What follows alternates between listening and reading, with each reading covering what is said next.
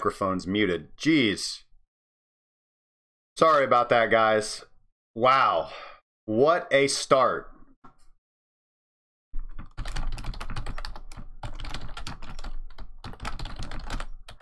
All right, well, hopefully you guys can hear me now. What a fantastic start. Doing a lot of different things this morning. Apologize for the little bit of technical difficulties. I redid Streamlabs OBS last night. We now have this beautiful right here. This, right there, there, yeah. We have that ticker now in the bottom left hand corner. Well, the bottom, whatever. It's in the left, it's in the right, yeah.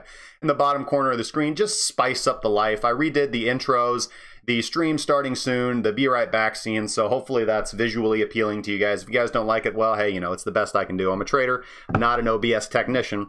Uh, and I set it up for YouTube because we have way more following on YouTube. So hopefully, uh, you know, hopefully we'll, we'll, get the nice little cool, you know, pretty little pop ups now on YouTube as opposed to Twitch. But again, we're on Periscope and Mixer as well this morning. So hopefully that all works out really good. As always, guys, make sure to post any questions that you may or may not have in the chat. Just let me know what you guys are thinking. We do this every morning at 11 o'clock in the morning. All right, fantastic. So I will go ahead and answer this question first, and then I will get into uh, what I normally do. So, Light Yagami, how are we doing this morning? So glad to see you here. Gabe Anderson says, I'm watching from work today and want to get a question in before I get busy. I am new to your channel and would like to know where to start learning how to trade. What resources do you recommend? Well, there are some really good resources out there to learn how to trade. I highly recommend Bitcoin Trading Challenge uh, YouTube channel. Uh, he's got some fantastic educational resources. We also have a Trading Crypto 101 playlist that I will be adding to new videos on a weekly basis. So that's also a good place to learn. Babypips.com is a good place. But, you know, honestly, and again, biased here, but I, I highly recommend getting a community that can support you, getting surrounding yourself with traders who have experience in the marketplace, who know what they're talking about uh, join our Discord, man. There's a lot of good traders in there. You can post your chart ideas. You can post, uh, you know, you can ask questions. They're all pretty good guys. Uh, you know, and we do have the uh, the premium signals and one-on-one mentorship program that I think would be helpful to traders. That's why I offer it. Um, so check that out, man. Otherwise, you know, just just have a passion for learning and research. Uh, get familiar with back testing a strategy that you think is going to be successful, um, and just patience, patience, patience, and diligence, diligence, diligence. This is a lifestyle. This is a uh, this is a hobby or a recreation that can pay off and be extremely profitable. It just takes dedication and patience. Now, I will say that Streamlabs OBS is not working with the chat. I still have to have the pop out chat. Seems like we're not getting too bad a lag though, so that's good. So that's good. Real Staga Roach, how we doing this morning? Hopefully you're not late for class, man. Madhito, no voice. Hopefully, I think you're probably watching on a delay uh, because I did not have audio at the beginning of the video. So you should be hearing me by the time you sync up to what's actually current. All right, so cool. The skip frames have dropped off. Hopefully it stays that way. And Gabe Anderson, anytime, man. There we go. All right, guys, so let's get right into it. I want to start off today with talking about some important news. And this important news regards SEC regulation on ICOs. So, for a very good summary of this, uh, I'm going to turn to Jake uh, Chervinsky, who is an attorney who has experience with uh, the SEC and financial regulation. And so I want to just, I'm just, this is a lot, but we're just going to go through this together and we're going to do it fairly quickly. And I think this is very important for what we can expect for the future of altcoins and cryptocurrency in general. So, uh, as, as you may or may not know, the SEC did just put out official rulings on Paragon and AirFox, which were two ICOs that did ICO and collect millions of dollars after the SEC's 2017 DAO report, where they said that tokens are securities. Now, the SEC had, you know, and this is frustrating about the SEC because people just want consistent regulation from the SEC. However, that's really not how they work. They don't put out, well, they, they don't put out broad guidelines generally, not for a long time. What they do is they have a policy called and Jake will touch on this, but I've noticed this as well in the options market is is that they touch on um, what they like to call uh, regulation by enforcement, and what that means is that uh, drinking water like a horse. What that means is that they will create their rules essentially by by key enforcements in certain areas. Now, keep in mind, and Jake will touch on this, that the SEC does not make law. Uh, the, the, Congress and the courts make law. So the SEC does not have the power to make law. The SEC can only choose what it will enforce and how it will enforce it. But they can change their mind. They can be proven wrong. Uh, they can be beaten in court. So the SEC is not some all-powerful governing body. They're just a regulatory um, uh, executive. Um, I mean, firm, whatever whatever word you want to call whatever word you want to call it, but they can be proven wrong. They can be beaten in court. So moving forward, let's just go over what Jake has to say about this. So he says today marks the conclusion of what I'll call phase one of the SEC's crypto enforcement strategy. And he says he's going to talk about this and what to expect in phase two. And here, the first point he touches on is what I just said. The SEC does not make the law. Congress makes the law and courts interpret it. SEC lawyers only decide their own enforcement strategy. Nothing they say is binding. They can change their minds and they can lose in court. Let's start with the enforcement actions. According to the SEC, both AirFox and Paragon raised millions of dollars through ICOs conducted after the SEC's 2017 DAO report. We pretty much saw this coming after last week's Ether Delta order. And he references his previous tweet where he says that in the 2017 DAO report, it was the first time that the SEC said that a token was a security. The SEC said both companies issued securities under the Howey test. For those of you not familiar with the Howey test, this is the this is the, the baseline for whether something is considered a security or not. Basically, to reduce it to its simplest element, if you purchase something mainly on the idea that you are going to gain profit off your investment, you're being sold a security. Uh, since the ICO tokens weren't registered, the company viol- violated Securities Act Section 5. So, what's the punishment for issuing an unregistered security? 250 grand. End of story. Yes, really. It's 250 grand. AirFox and Paragon raised 15 million and 12 million respectively. Both are free and clear with a $250,000 penalty plus compliance, which means registration, registration and disclosure.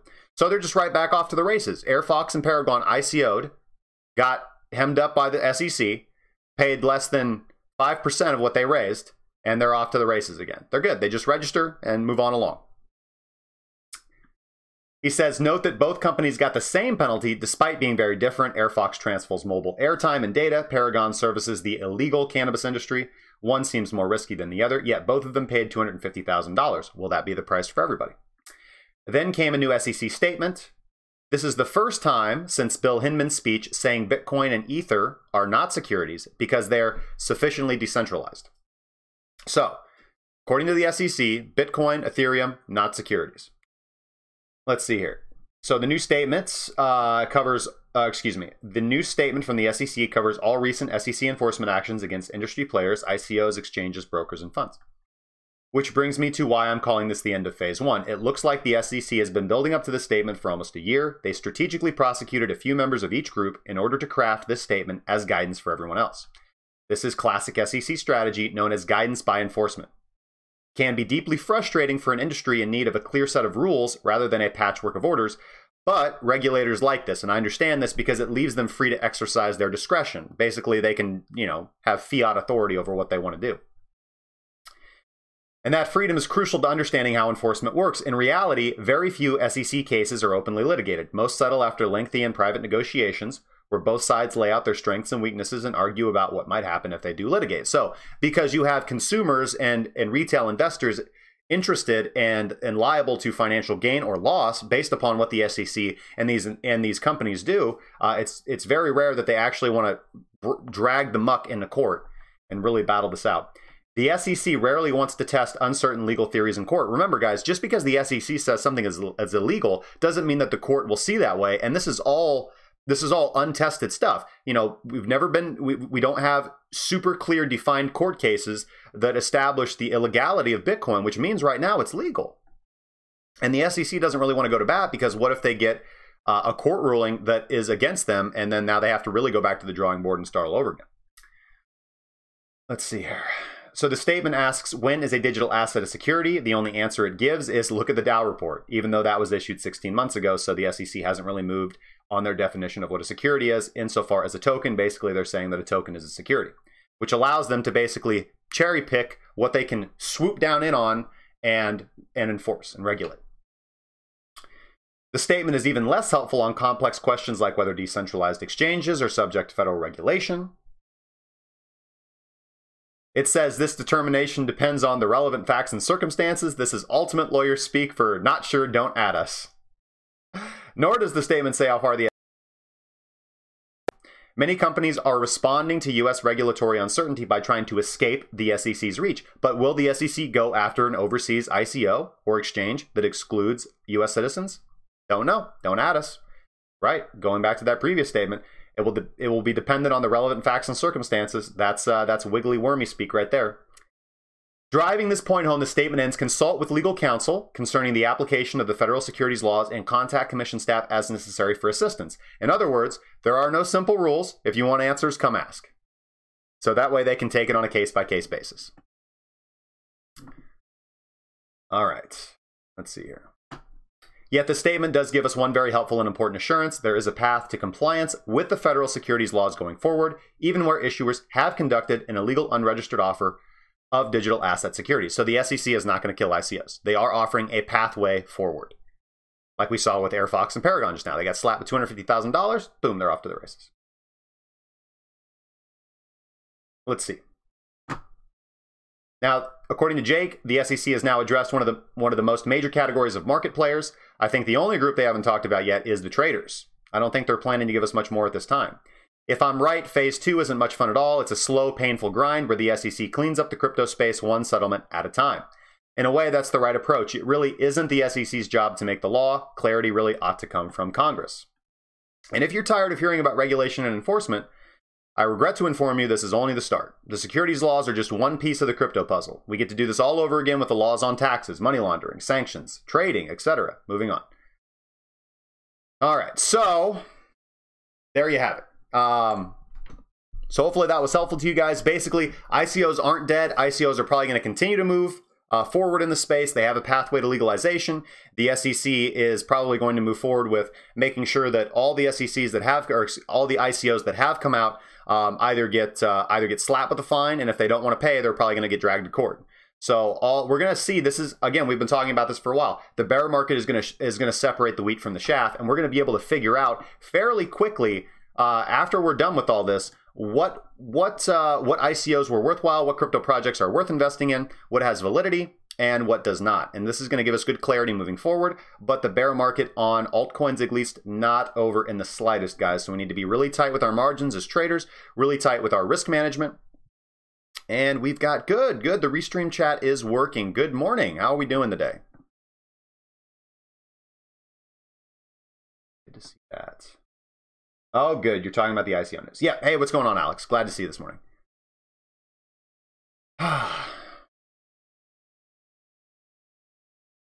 All right, so hopefully that was uh, hopefully that was helpful for you guys. I think that that's that's really clarifying moving forward. I think that again, just like he said, we've got a slow, painful grind moving forward to get all these ICOs kind of shaked out. Uh, and I think that there's going to be better opportunities to accumulate dips moving forward on ICOs and projects, alternative cryptocurrencies that you think have validity. But now we are moving into the realm based upon this that after we see the shakeout occur, we are going to be moving into the realm of legitimate investment opportunity beyond the realm of speculation. So your early investors are pure speculators, and a, majority of them have taken profits or are still invested in uh, projects that they believe in. However, now that we're going to get actual uh, clear regulation from the SEC and a pathway to legalization, uh, meaning that we're not existing in the shadows anymore. Now we're actually moving forward uh, into a realm where you could you could say that now we have less speculative investment on these ICOs. But again, we need to Thanks, man. I appreciate that, Real Staga. Now we, we we can move into a realm where now when people ask, well, hey, do you feel that this is a good investment? Again, not financial advice, but yes, now I'm now I'm able to say, well, they're all shit coins now. You know, now I'm you know now I can actually say, well, listen, they're registered with the SEC, they've paid their fines, they've paid their dues. Uh, the project stayed around. They were they clearly weren't just in it, you know, just to exit scam. So now we can legitimately talk about the value that these things have moving forward and what value they apply to the space, what their use cases are, uh, which I, I think was far less was just way more speculative and way less attractive to potential retail investors uh, than um, uh, without that clarity. Without that clarity. All right. Okay. So I do just want to point out one thing before we get started with our morning analysis, and that is going to be let me pull it up here. Going to have to scroll up. Okay. So here is example number one. All right, so here we go. All right, so I posted this in the premium Discord last night. And uh, is it a cherry picked example? Sure, but uh, I'm going to take it. It's a good call. So I posted this in the premium Discord last night, and then I actually posted it in the general, like just a few minutes later. So not uh, not a whole lot of delineation there. And so uh, this is just a good example. And, and, the text that I applied with this is this is a good example of Fibonacci EMAs uh, being broken sequentially. So we can see that we're trailing down uh, in this uh, in this you know in this bullet in this bearish trend, and then we get a fairly strong capitulation candle on really high volume with a with a decent tail at the bottom. Not a strong hammer candle, but again, just a capitulation candle. And you can see looking at the volume profile that we're in an area of high volume and we do see a stop loss hunt down into a low volume node. And that's to me a very bullish sign. So this is just as generally a candle that I like to aggressively market buy on because you can set a fairly tight stop. And if you're wrong, you're wrong. But if you're right, the profit opportunity is quite high. So it's a, to me a high reward, low risk trade. And we can see that uh, we were being rejected by all of our EMAs. So we have our 8, 12, 21, and our 55. And then we have our, um, our average true range trailing stop, which is ATR times 3.5. And we can see here, we start, this is again, this, this I think is the best opportunity to enter into the market. But then we see bullish volume pour in, and we see that the uh, 8 period moving average gets broken. And we get rejected from the 12 uh, uh, moving average period. We move back down, consolidate a little bit. This is a good dip. We're forming a higher low. This is a good opportunity to enter if you're looking at this. And uh, also, you can see that uh, uh, Fisher Transform gives us a crossover. However, using RSI to confirm the actual buy signal uh, would have been a good strategy in that case. We also get a MACD crossover at a fairly good opportunity to buy as well. However, you also could have seen the uh, the waning bearish momentum as an early indicator on the histogram, or you could have waited for the crossover to the upside, guys. Patrick, how are we doing this morning? Good to see you, man. And then uh, we see, so again, we, we're seeing rejection from the 12-day EMA. We fall down into a dip, consolidation, bullish volume starting to come in, and then we get rejected from the 21-day EMA, or excuse me, the 21 period moving average. And what I had said was this is a example of Fibonacci moving averages getting broken sequentially. So we broke the 9, we broke the 12, we're going to break the 21, and then we're looking to break the 55. And again, I just like to go over and look at Bcash right now. Take your time. Take your time. I'll allow it. I'll allow it.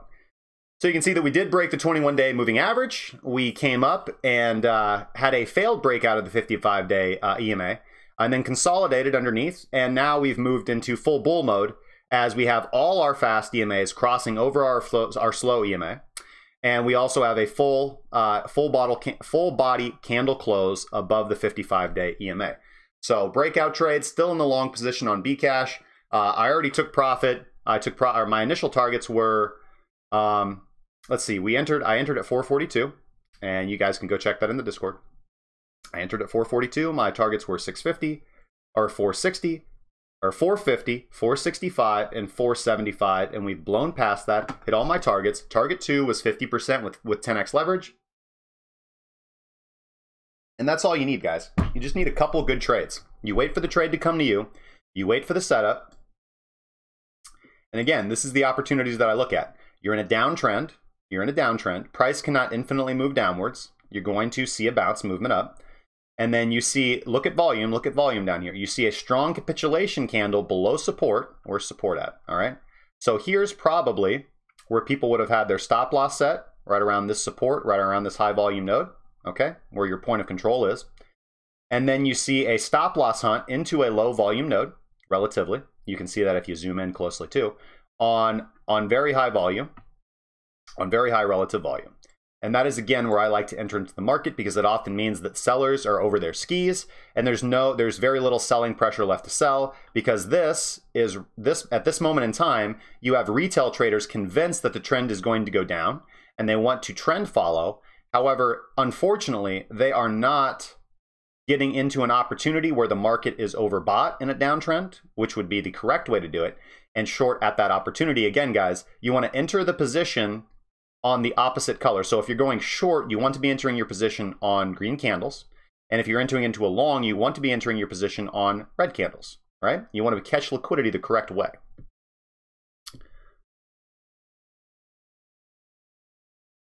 Let's see. Yagami says, I say I'll allow it all the time. Did you get that from John Mulaney? No, uh, I, I, maybe, I don't know, maybe like just culturally like hearing it, but I've been saying that for a long time. Just quirks, man. We got a lot of quirks around here. So yeah, good, good. Uh, pretty happy with my position here in Bcash, and I've still got. Listen, I took. This is how I average out of positions. Uh, so again, on this one, a little different. Every everyone's a little different, but I, I felt very strongly about this trade, and I entered uh, with my full position size at 442 and I would have had a stop. And I had my stop. I said no more risk than 400, but again, the risk reward ratio on that wasn't good. So I did have my stop uh, set below the high volume node right here. Uh, 426 is where I would have been looking to get out, but that's because I had 10x leverage. So, you know, with uh, three or one or 5x leverage, again, your trade could be down here. Or your stop could be down here because your loss is going to be more relative to your gain. And uh, let's see. So I, I took 33%, a third of my position size out at 450, another third at 465, right here. And uh, now I'm just holding on for the other third. And I've got, you know, we'll just see how, we'll just see how that plays out. I've got a stop loss set for 465 now, so I have that profit locked in. And we'll just wait for that to happen. Johnny Boy Crypto in the house, guys. Your Crypto Daily in the house, guys. Make sure to go check out Your Crypto Daily news on the YouTubes and in the Discord. Thanks, man. I appreciate it. I got that. Actually, uh, we you guys can thank guys. Make sure uh, it's not one of the more popular videos, but and and uh, you know it's it's kind of uh, it's educational. But go check out. Um, there's a new playlist on our YouTube now called Crypto Currently, and that's where I'll be putting interviews and having guests on. And actually, tonight at 8 p.m. Central Standard Time, I will be having Caleb on from Project Zero Z to discuss his project, the idea of uh, the diffusion of ideas, and um, what he believes is the issue with the Bitcoin inflation model. So, pretty smart guy, and I'm and I'm excited to see what he has to say, and I'm excited to kind of debate some of these, I think, very critical topics uh, for the future of Bitcoin and decentralization live on the air. And but yeah, so uh, the ticker actually is courtesy of Dan uh, from Dank uh, at Dank Coins that I had on the show the other night. Um, guys, go check out that interview and check out Dank Coins on the Twitter and also cryptoscores.org for the BTC weekly pick'em. All right. So let me minimize that.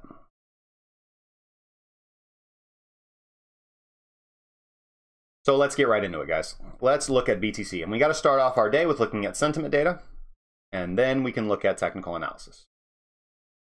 Why do we do this? Because we're not like everybody else. All right, online on Mixer, online on Periscope.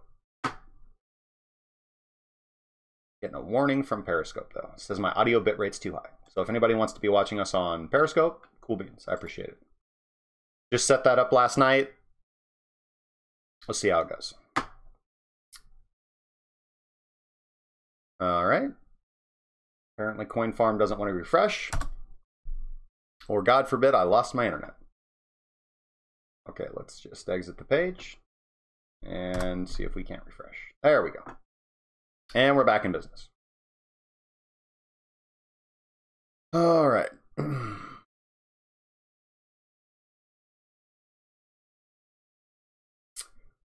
So on BitMEX, shorts versus longs still kind of locked in that equal state, guys, which to me means that we're going to be trend trading, all right, for the moment.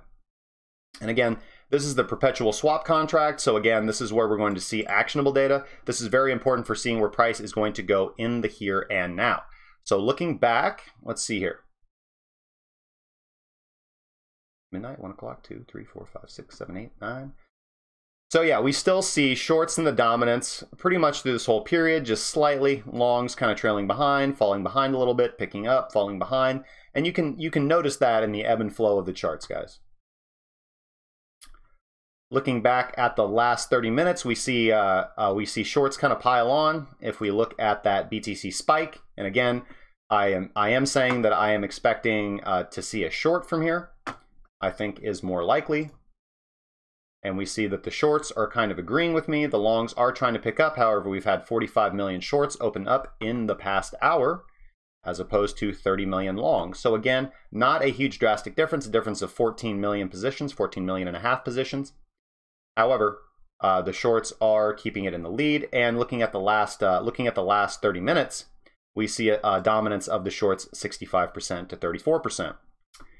Now we do see the longs trying to step in here now in the last couple minutes, but and we might see a movement back up. So again, what we're looking for is we're looking for a good opportunity. We're looking for a good overbought opportunity to enter into a short position, in my opinion. So you see that we came back up here and wicked right off resistance at our high volume node, at our point of control right here. And that would have been a good pinpoint moment to enter into a short, in my opinion. Now, looking at the small time frame here, you can see that we have broken above our slow EMA, and so we that is kind of a bullish sign. However, if we go out, let's start off the right way, guys. Start off with looking at the 12 hour. Okay. Looking at the 12 hour chart, fairly boring. Fairly boring. We have not, it's still been a, on the larger time frame, a bearish grind down. We've had three consecutive closes inside of a bullish candle. Now, I was saying that on a higher time frame, this typically is what we call a three inside one candle pattern formation, where we see a, a very bullish candle, and then we see three weaker, high, low, uh, very low volume, low volatility candles close their full bodies with inside that. We might even potentially be seeing a fourth right here, but we can really see uh, momentum slow down. So you can see that momentum is slowing down right here, uh, as the MACD is telling us, because the the the area between the moving average convergence divergence line and its moving average is getting tighter and tighter and tighter. And that's generally uh, a good indication of a bullish reversal. We can see that Fisher Transform is still trending upwards. Our RSI is still oversold and confirmed this moment in time as a good opportunity to enter. The RSI was actually less oversold here, so a little bit of bullish divergence actually right there on the RSI. However, full confirmation on the Fisher.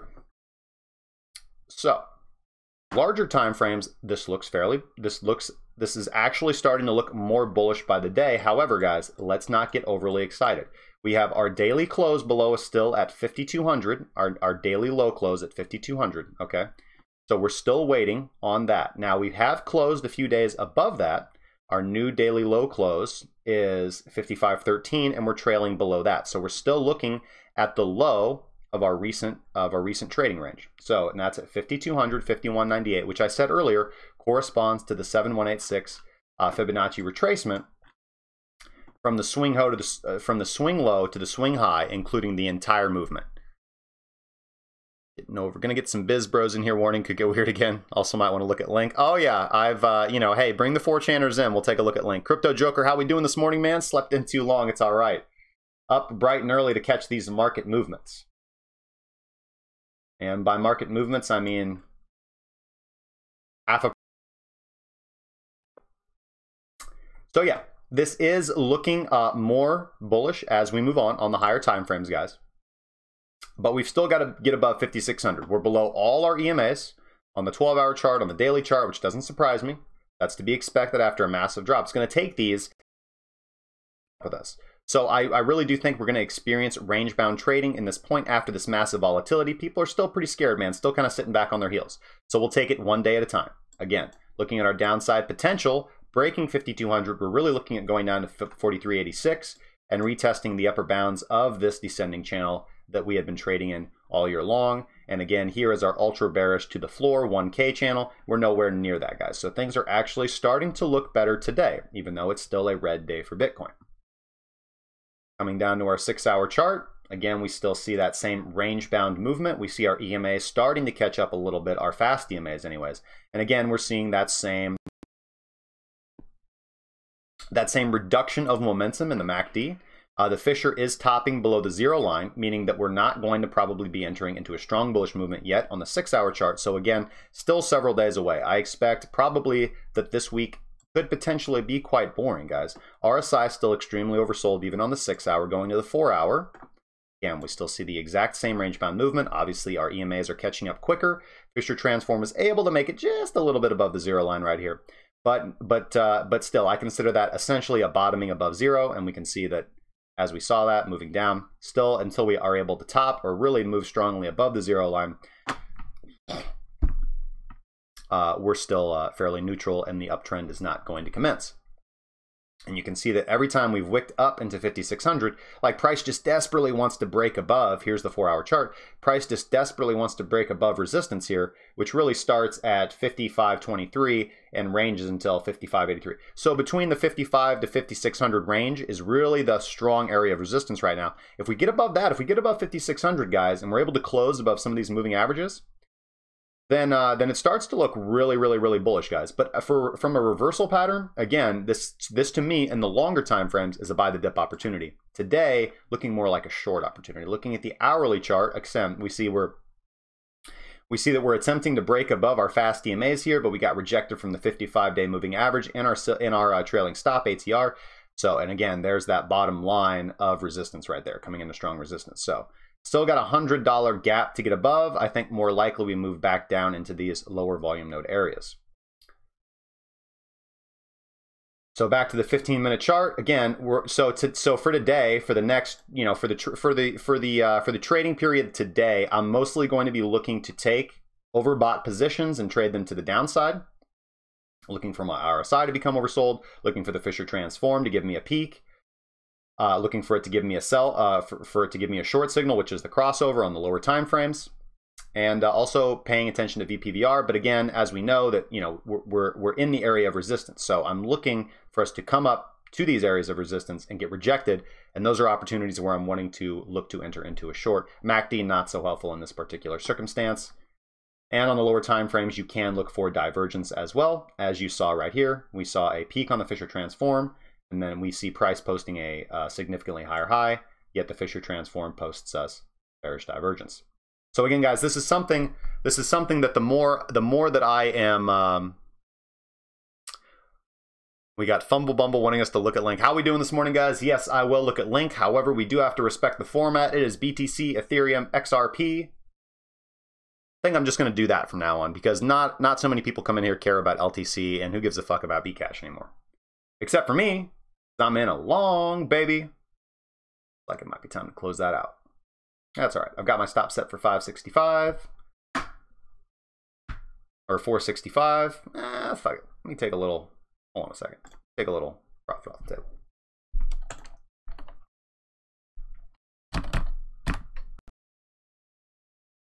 All right. Dunzo. Hey, Silver Limey79, how are we doing this morning?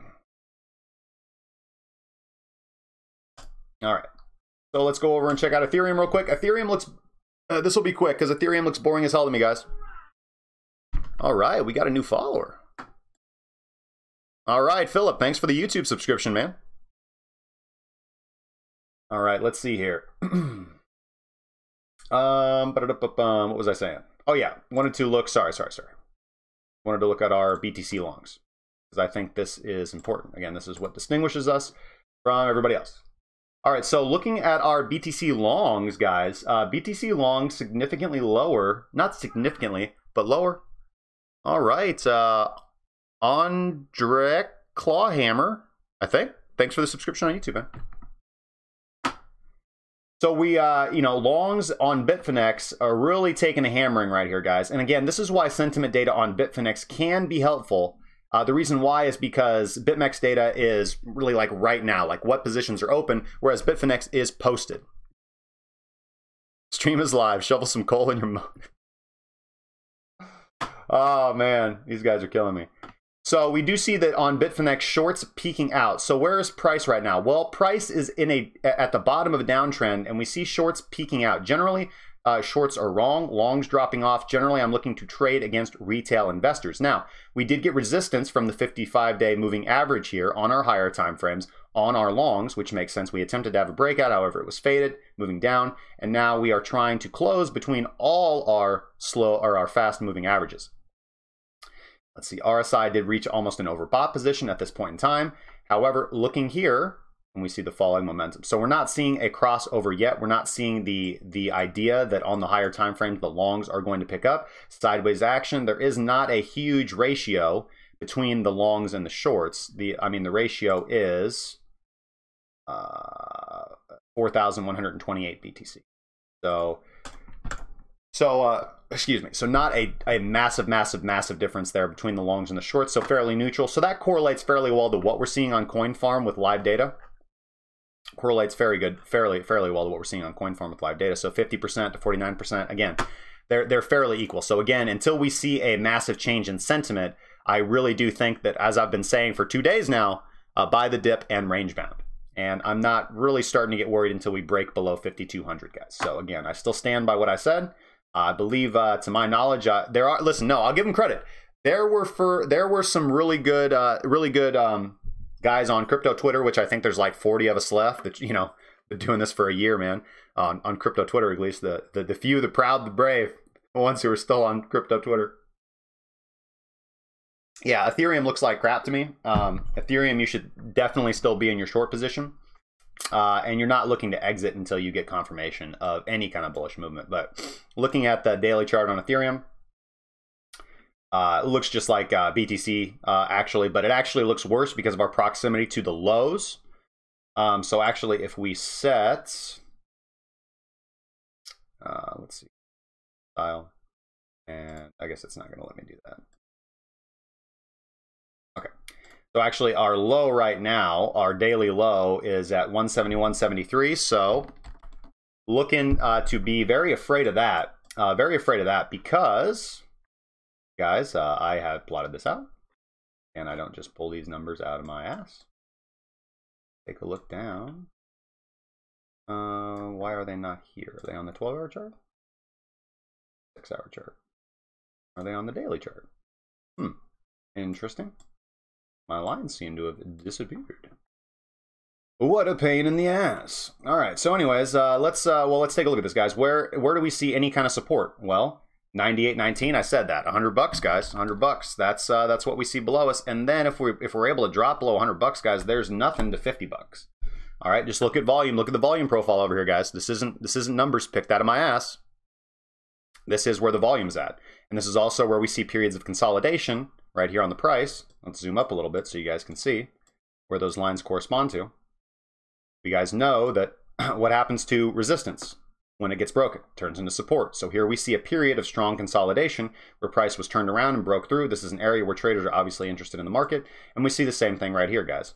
And all this, like, listen, guys, all this is just nonsense. This is just trash. This is not strong support. Like, price spent no time in these areas. It zoomed up, it zoomed down, it zoomed up, it zoomed down. It consolidated for a while. That's why we had strong support and resistance here. And we see that relatively, price spent a longer time here than it did uh, in any of these uh, train track areas. In volume profile, just look at volume profile. It's a low volume node.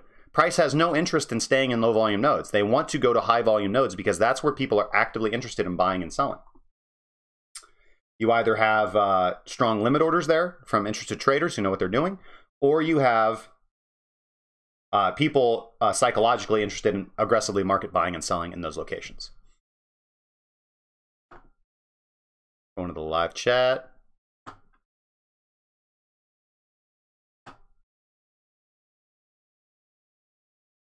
Hey, it's cool, man. Philip, thanks for the sub. I appreciate it, man. All right. Real Stog. Hey, man, you know, I'll look at XRP, you know, morning, noon, and night, buddy.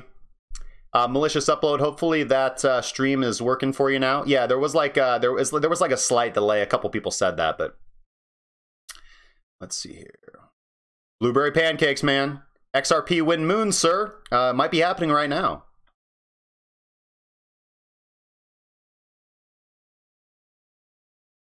I'm supposed to go to work, but need my fix from Jay. Right on, Joker. Nick, did somebody already ask about Link? Yes, I will be looking at Link. Just got to look at XRP next.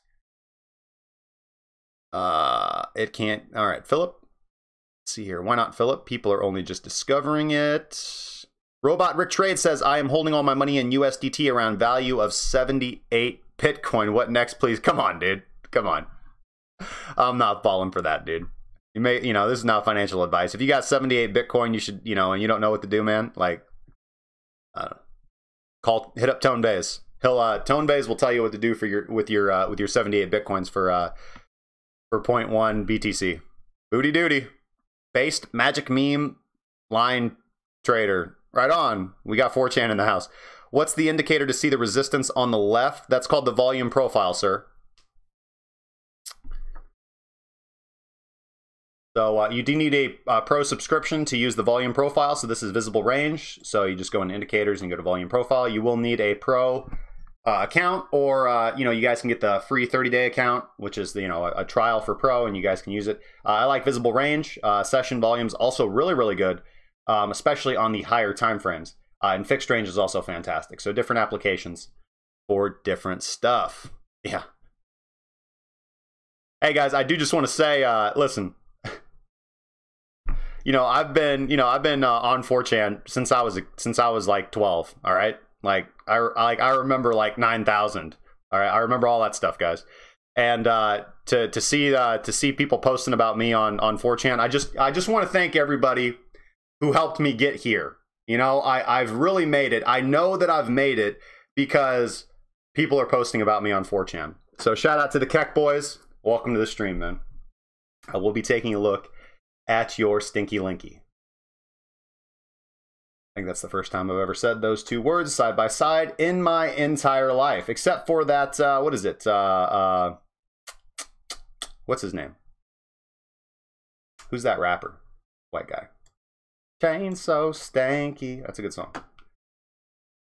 All right. Not generally my type of music, but whatever. All right. So yeah, Ethereum, uh, uh, uh going down to the 12 hour time frame. Looks like shit. Uh, six hour time frame.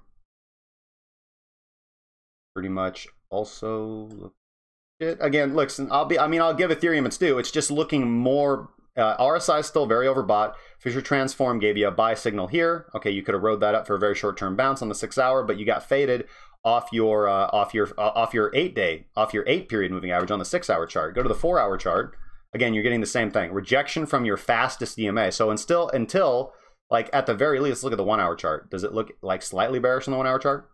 I mean, pretty much the same thing. Like you get a false breakout here, and now you're just getting rejected. So I'd be looking at the four hour chart, and I'd be looking to like God eight period moving average at least so that you can actually start to say like oh okay now like we're reversing uh, you know with with bitcoin and again you can try and scrape the bottom here guys you can set your stop loss below here but because your uh your stop loss hunt might or may not penetrate into there but you know you might get stop hunted guys again you can you can look for these really aggressive candles uh, that are wicking down into low volume node areas and try to aggressively market buy. You'll be able to play the bounce and scalp trade. That's how bots do it, guys. That's how professional scalpers do it. Uh, and and really hope for the bounce movement to the upward. Now, looking at, I will say this: looking at sentiment, looking at sentiment, I will give. Oh, you know what? I'm stupid, guys earlier when we were looking at long when, when i said we were looking at longs we were looking at shorts. My bad. My mistake. This is btc longs. So everything i said earlier completely reverse it because that's what i meant to say. Hopefully you guys can figure that out. Secret messages. Secret messages in the stream? I don't know. I'll allow that uh, K7 Gixxer 1000. How am I expecting Bcash now Bcash ABC to hit $400 with such little technical data for the new coin? Uh, I am not expecting Bcash to hit $400 whatsoever. I never said that. I simply said that I took a uh, on the 15 minute chart, I took a leverage trade to the upside, which played out fairly well for me. So I entered at 442. I had sells at 450 and 465, and then I just sold uh, about half of the remaining third of my position. And I'm just going to wait and see what happens uh, when we get close to this uh, 55 day EMA. But I've got a hard step action. I have a hard stop, which I usually don't use. But since I'm on the stream, I just, you know, you, you got to do that because I'm busy. Uh, set at 465, which is my T2. Yep, I have put MFT. I will be looking at MFT. Just give me a sec. MFT and Link. I'll look at Link first. Otherwise, the Keck boys are going to go crazy. All right. Um, and yeah, I uh, you have to rewind the video. I, will I'll retouch on BTC moving later into the stream, but I got to be respectful to everybody else as well, who are spending their morning with me. Now moving into afternoon. So, uh, real quick, looking at Ethereum uh, sentiment data, uh, still uh, the longs are quite, quite, quite, quite high, guys, and the shorts are. I mean, in in the distribution, I mean, there is, for the love of God, why does that left price scale always pop up? I'm gonna contact trading view technical support about that. I mean, there's you know, there's a significant difference between longs and shorts positions, guys. Uh, you know, there's there's far more open interested longs on Ethereum uh, than there are shorts, like significantly so. So to the tune of like 254,155 Ethereum in short positions and 692,766 in long positions. So the way that I tend to look at this is is actually kind of neutral for the for the most part, but but more bearish because it means that you know, longs were skyrocketed here, and so their horror price moved against them. Now, are we going to see a bounce and recovery from here? But but what it what it's telling me is that shorts are in profitable positions right now. So they're going to be wanting to take profit, and people are going to want to continue to add to their short positions. The psychology of people in profitable short positions. We'd have to look. I, I can look at Bitger and look at profitable bull bear income ratios on Ethereum, which I think is important. But but uh, and longs are in an, in highly unprofitable positions, which means they will probably continue to add to their positions since they're since they want to sell at break even. Uh, but also, what that means is that they don't have capital to buy since they already bought up here. So all the interested Ethereum investors already put their Ethereum into long positions. So where's the fresh Ethereum moving in to push the price up? I do not see it.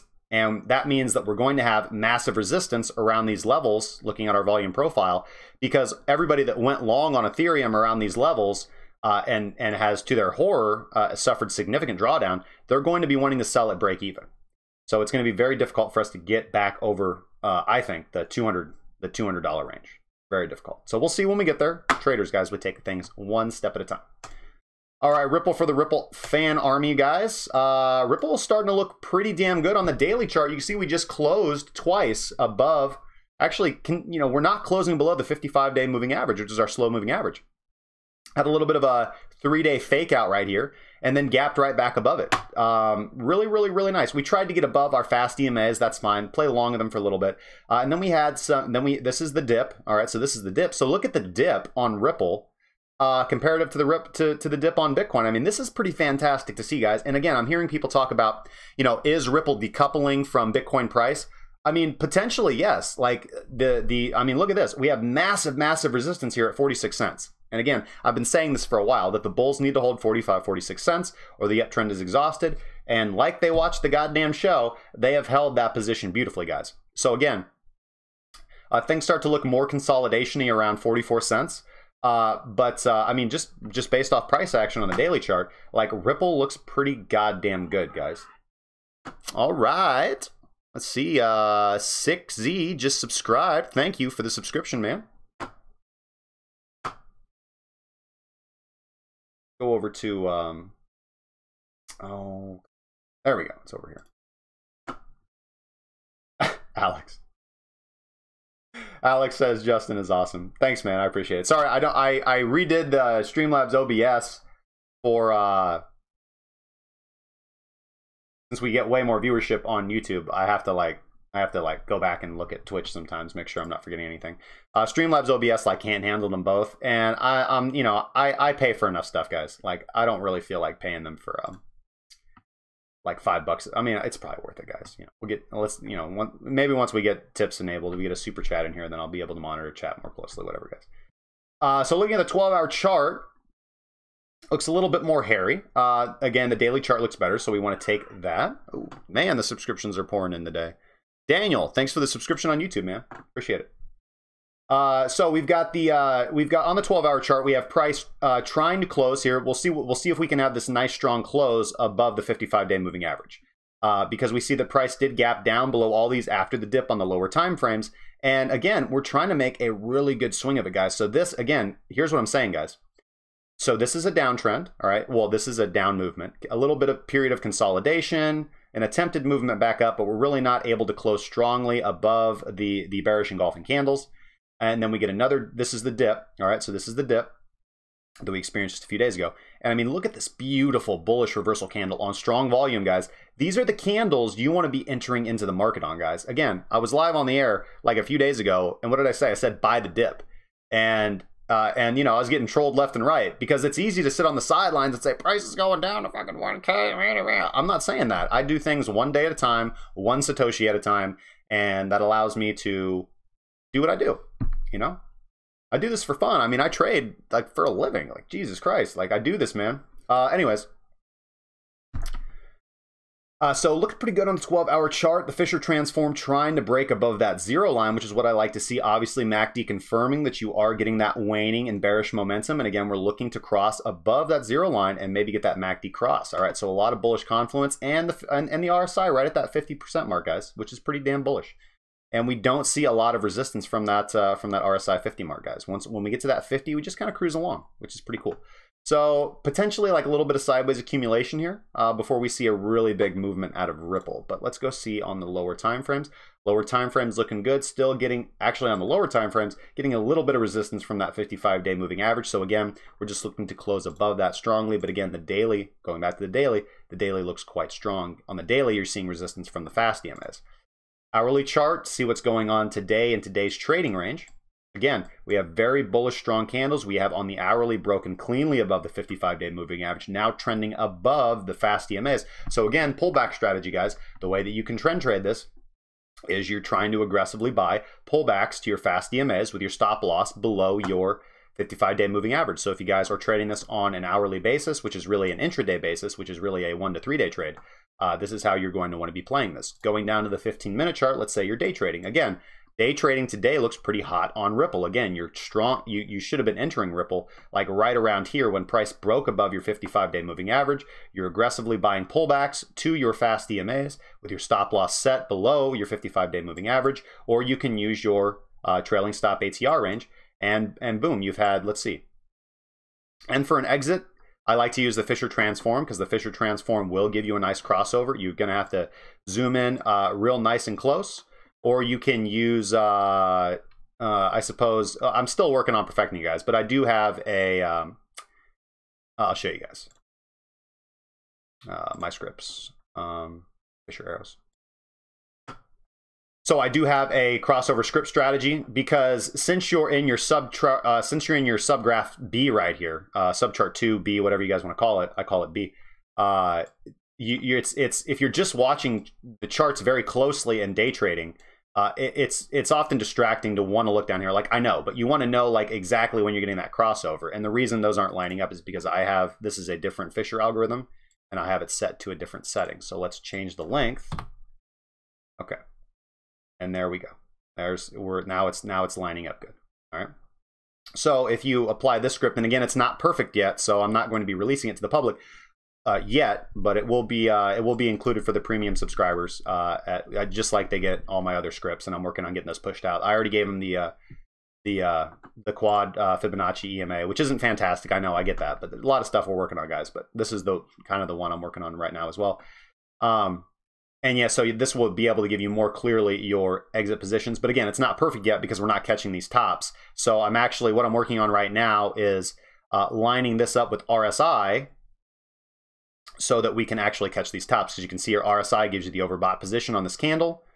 And actually, again, Fisher transform reaches a peak as well, but Fisher lags behind because you don't get the sell, you don't get the cross until this candle And the uh, the script that I have for the arrows is actually running on a different Fisher algorithm, which I need to update to this one because this is my multi-time frame Fisher transform, which has the 0.25 de- uh, deviation instead of the 0.5 deviation, and so is more accurate. Uh, but yeah, so Ripple looks really good for trend trading today. So again, uh, going back to the daily time frame, if you guys are trading on a, a position basis, uh, again, yeah, I mean your stop right now is right around 44 cents. I think that's very reasonable. Uh, you could also probably set it down below your 55 day moving average period here at 46. Like, nah, I'd set it down at 46 cents maybe 46 and a half. Uh, but just be careful of getting wicked out, guys. Really, in this situation, I'm looking to buy uh, buy tails, and the only way you can hit those is on these lower time frames. Uh, and real quick, go look at uh, Ripple sentiment. Okay.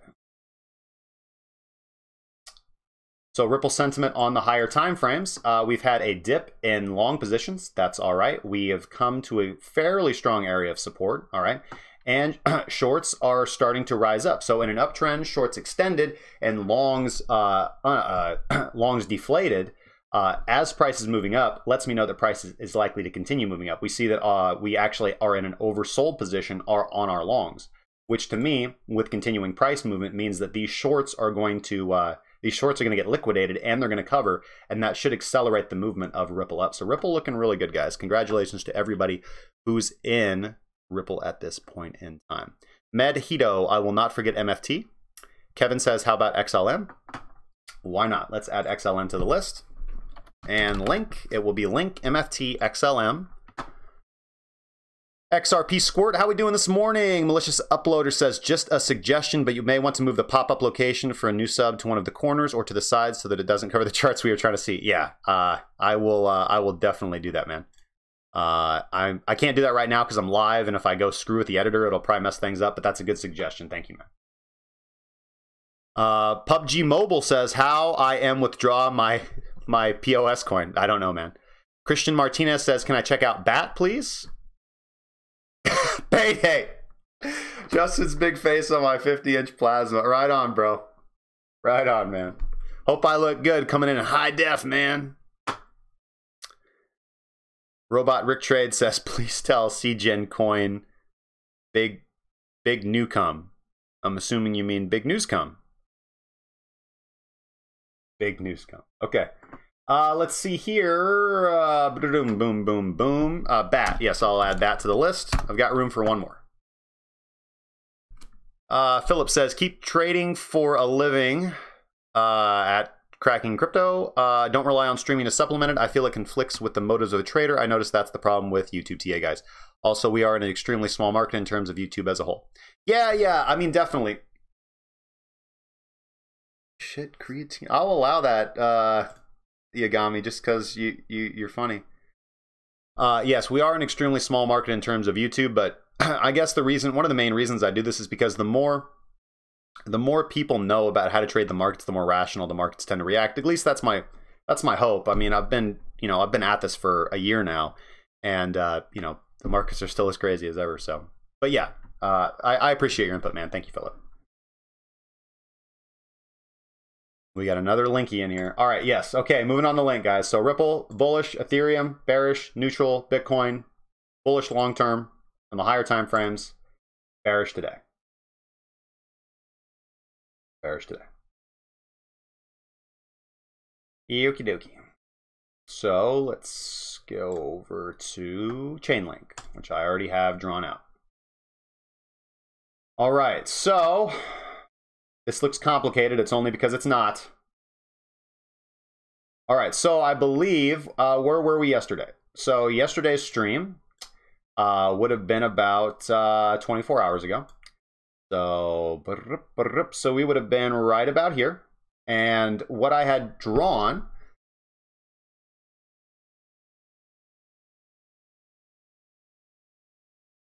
Siegen Cointel, please, man. Listen, I'll get to Siegen. Maybe I'll be looking at it, man. Uh, he's doing link, guys. Oh, he's doing link, guys. Uh, the price of chain links directly correlated to Sergey's weight. All right. So let's uh let me do this, otherwise I'm gonna get distracted with chat. All right. So let's look at link, guys. So yesterday, let's look at the higher time frames again. So let's just be realistic about what we see, guys. I'm going to approach the link chart just like I would approach anything else, okay? We had the, our major periods of accumulation right around down here, people buying the dip, all right, which you can see confirmed by volume by time and volume by price. Then we had more, we had a lot of uh, active volume in this consolidation period right here. Okay, it does not take a genius to see this. The majority of that is going to be right here. Okay, we see that confirmed by volume by price and volume, or excuse me, volume by time and volume by price. Okay, then we move to the downside and we have our boom, boom, our two dumps and a pump, all right? And look where we're at right now, guys. We are getting into our overextended period where we're in, where we have nothing but uh, low volume nodes above us. When we see price get overextended, uh, we see there's only, there's not an infinite amount of buyers in the market. And taking this into account of the current cryptocurrency market and sentiment, this to me looks like an area where I'm taking my profits. You know, if you were lucky enough to get in, or smart money was able to get in on dips, especially, I mean, here's an area where you would have entered, where you see a breakout of previous resistance. Okay. You see price break into resistance. And then you see a drop down and you see a dip. All right.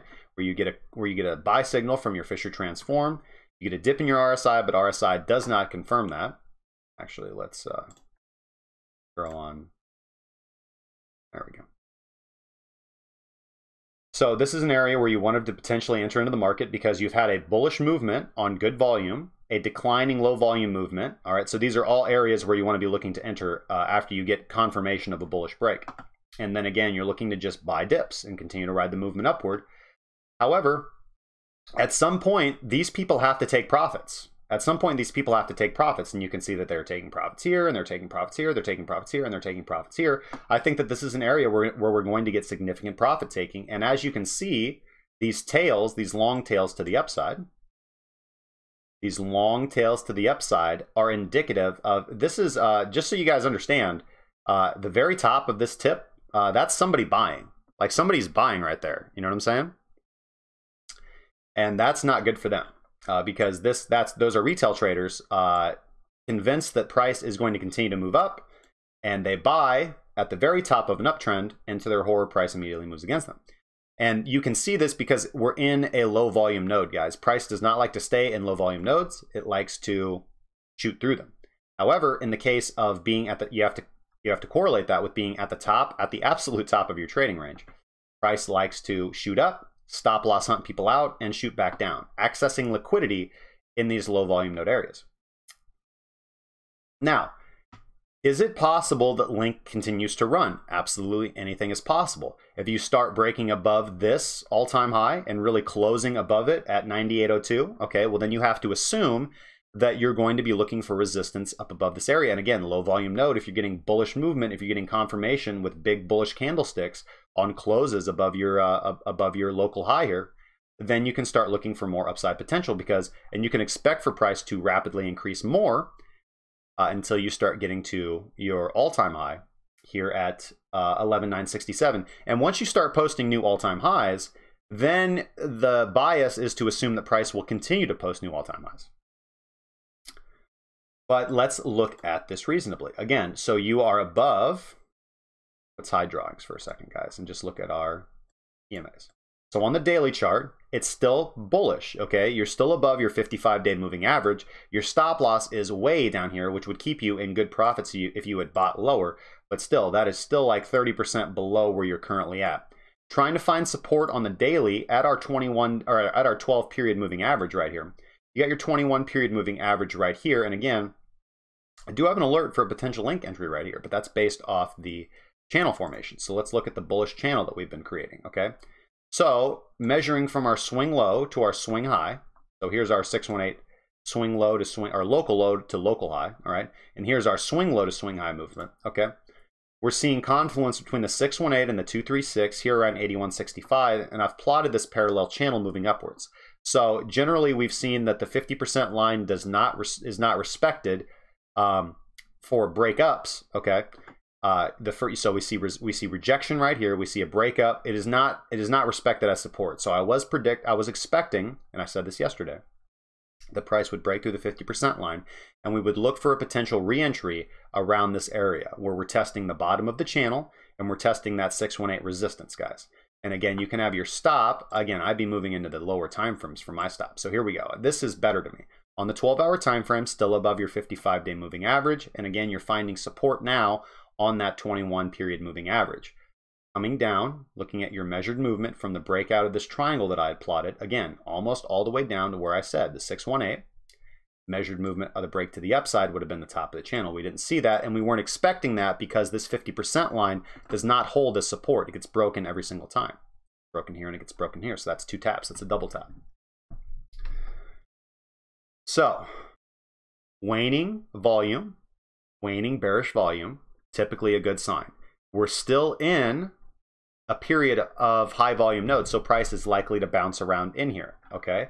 I'm to need to see I'm going to need to see price move above this local high and close above it before I'm going to say that we've not reached the top. To me, as a trader, this to me looks like we've topped out. If I look at, I mean, and we also see a little bit of weak class B divergence here, guys, just a little bit. We do actually form a little bit of a higher high on the Fisher transform, but it's very weak. And if we look at the RSI, the RSI is also giving us right here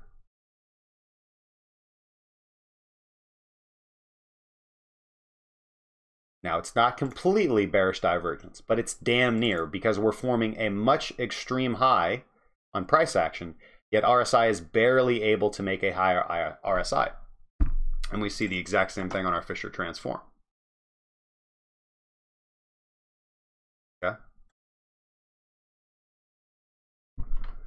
So that is class B. That is fairly neutral bearish divergence.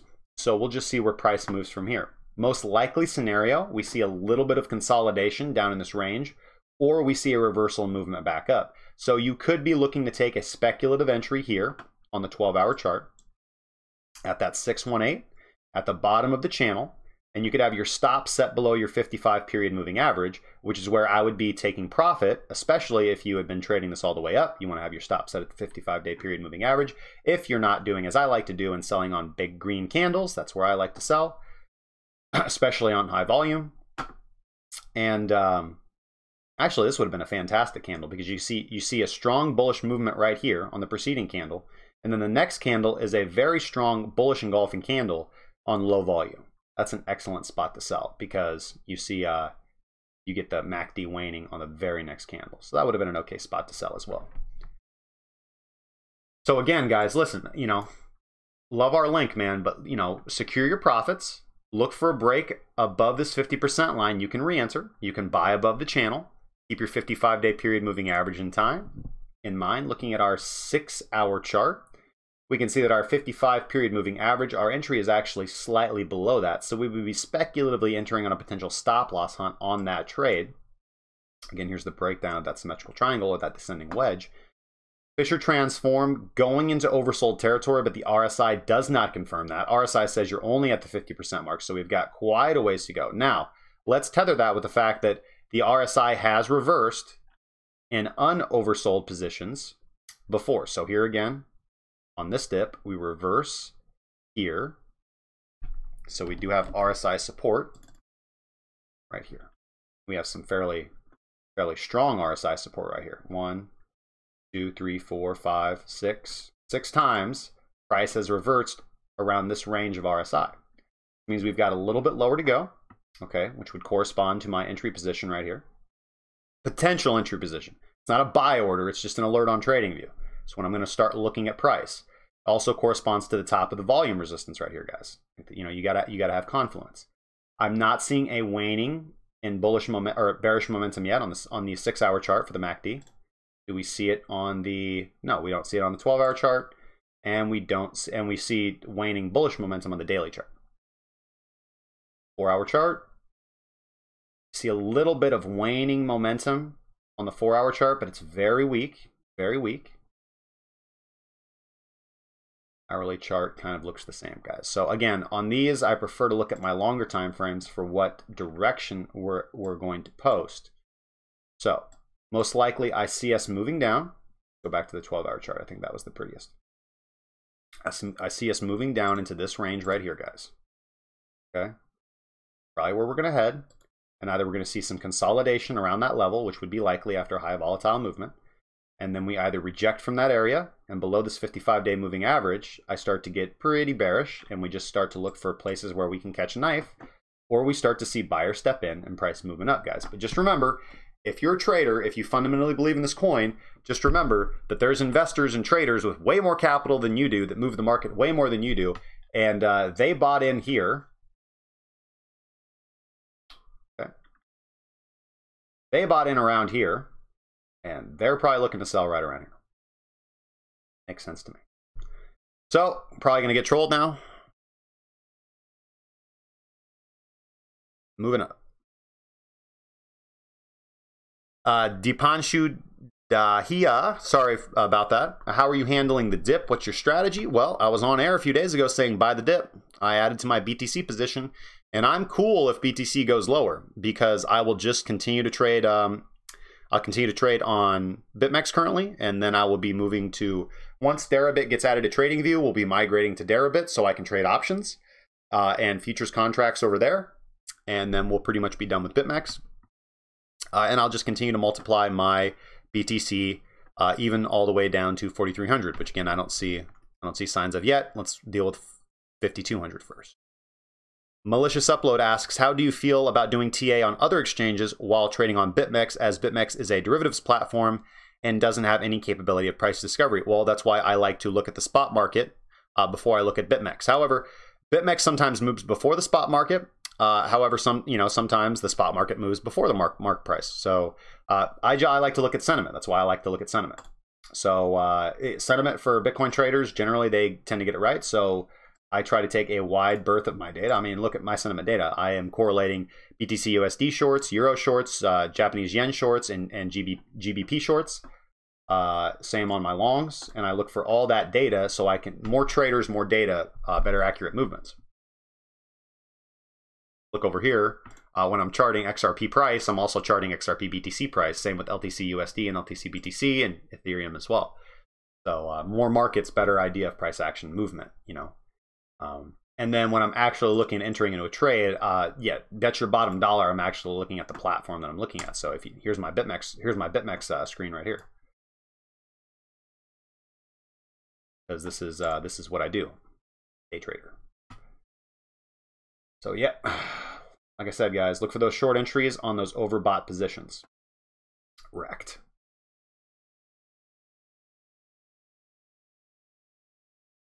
Yeah, that would have been a fantastic. That would have been a fantastic short entry. RSI goes oversold. Fisher transform peaks and gives you the short signal on the very next candle.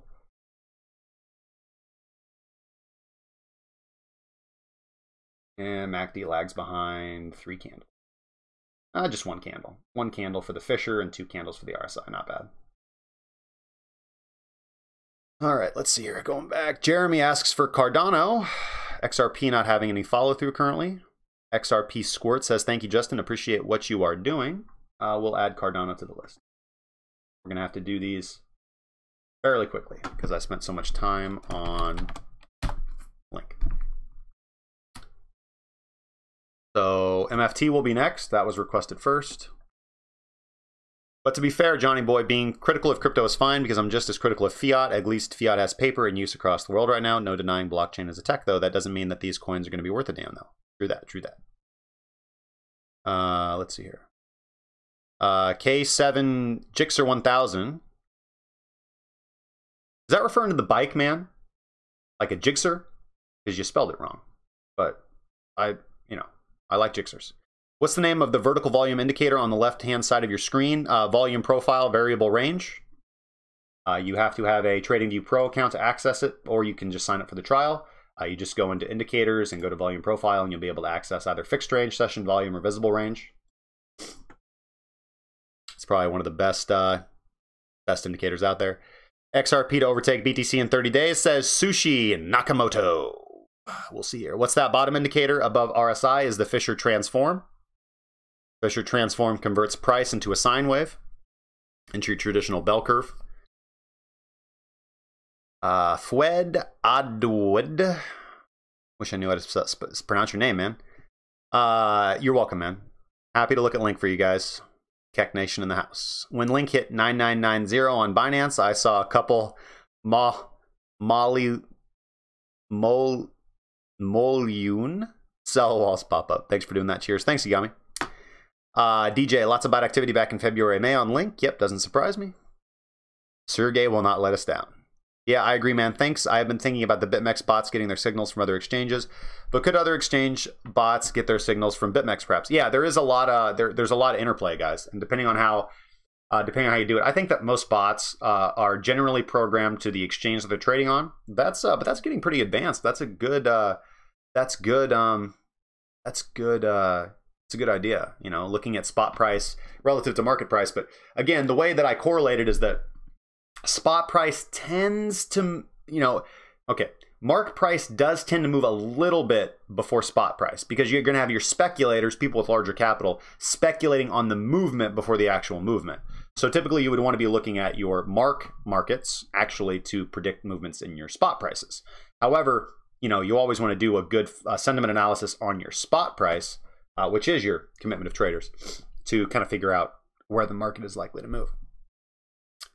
Got to watch crypto. Good morning to you, man. I have a low cap shitcoin not on TradingView. How can I get it on a chart to be able to read it with TA?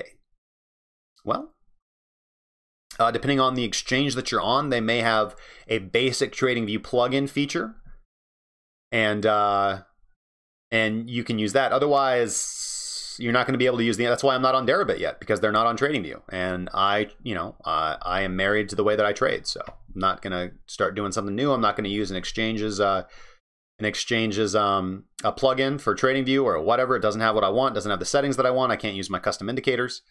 And um, yeah, that's uh, that's why like on BitMEX, I don't even have the chart open. I don't like the only thing the only thing I use BitMEX for is execution. ICO News Channel Zcash, please, sir. Listen, I'm sorry. Uh, I, I wish I could, but I've already got five requests. I can't be on Steak Sauce. Thanks for joining us this morning. What's up? Uh, tune in tomorrow and uh, pop in here early, and I will take a look at Zcash.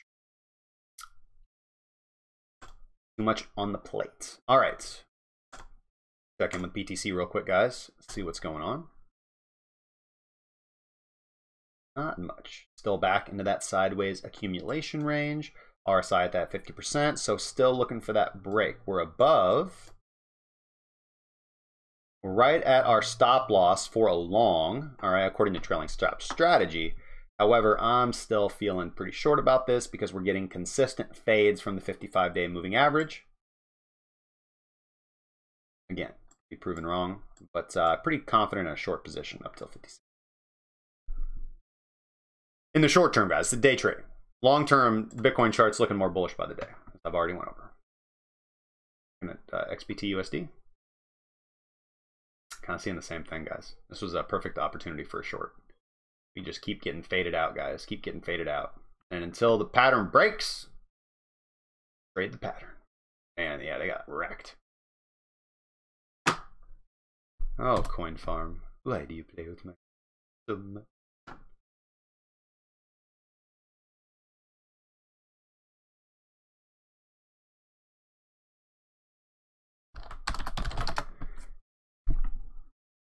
We gonna load? We can do this the easy way or the hard way, Coin Farm. You know what? You're cool, man. Welcome back. You're good. Keep doing you, man. Stellar Lumens, I already have open. Oh, I said I'd look at MFT first. Sorry.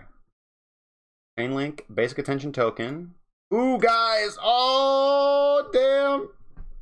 Woo. Sorry. Hold on. Got to pause for the cost. We're in Mithril right now. D uh, John Dunn, how we doing this morning? John, I hope you bought some Mithril, man. Posting that in the signals now.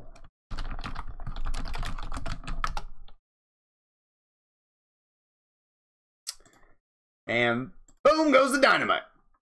Strong close about that 55 day moving average. Oh, yes. Andre. Andre, these are dips. This is not a dip. Sorry. Shots fired, bro. Hey, you're good though. Like what you said last night. You got in, so we're good to go. That was uh, so the target you see I got on my screen right here, 4019. So uh, maybe set a stop there and see where this pullback comes in, and then maybe get back in at the 618. Maybe take some profits right here, and just just follow our uh, 15 minute chart. Just uh, maybe uh, have your have your st stop loss on the eight period moving average. Honestly, catch this movement as much as we can, and uh, yeah, then we'll just kind of wait and see what price action does. See if we continue to pop up from here. Maybe re-enter at the 3904 Might retracement. All right. Um. Yeah. So actually, let me recommend that.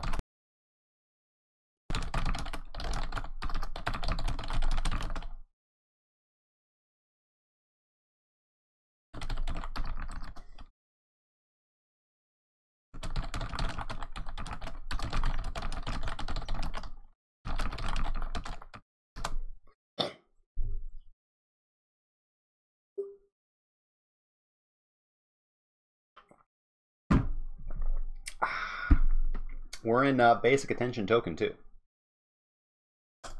So, uh, there was my stop. All right, feeling pretty good about that now. Back into that high volume node area, and I think it's probably time to tighten up that stop, guys.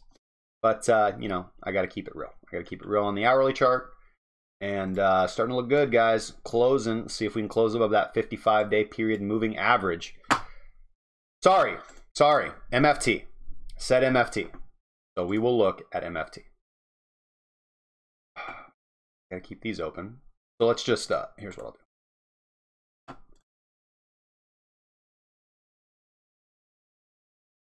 There we go.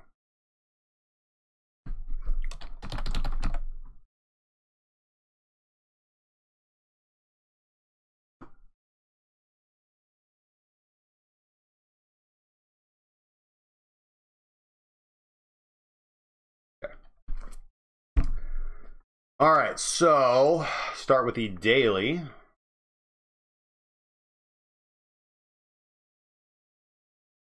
All right. Pretty fresh coin, so TA is going to be a little difficult, but uh, for a long position, you're button up on the daily right here with your uh, with your trailing stop, which is average true range. That should help you not get kicked out of the trade.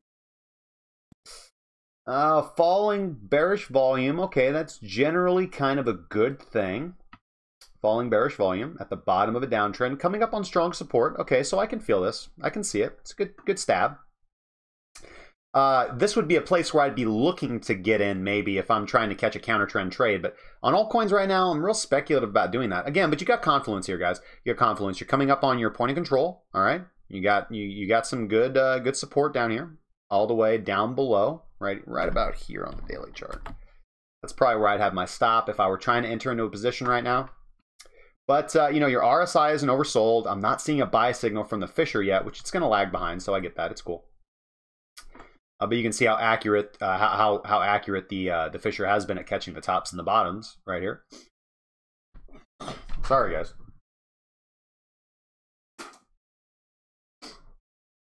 Got a frog stuck in my throat.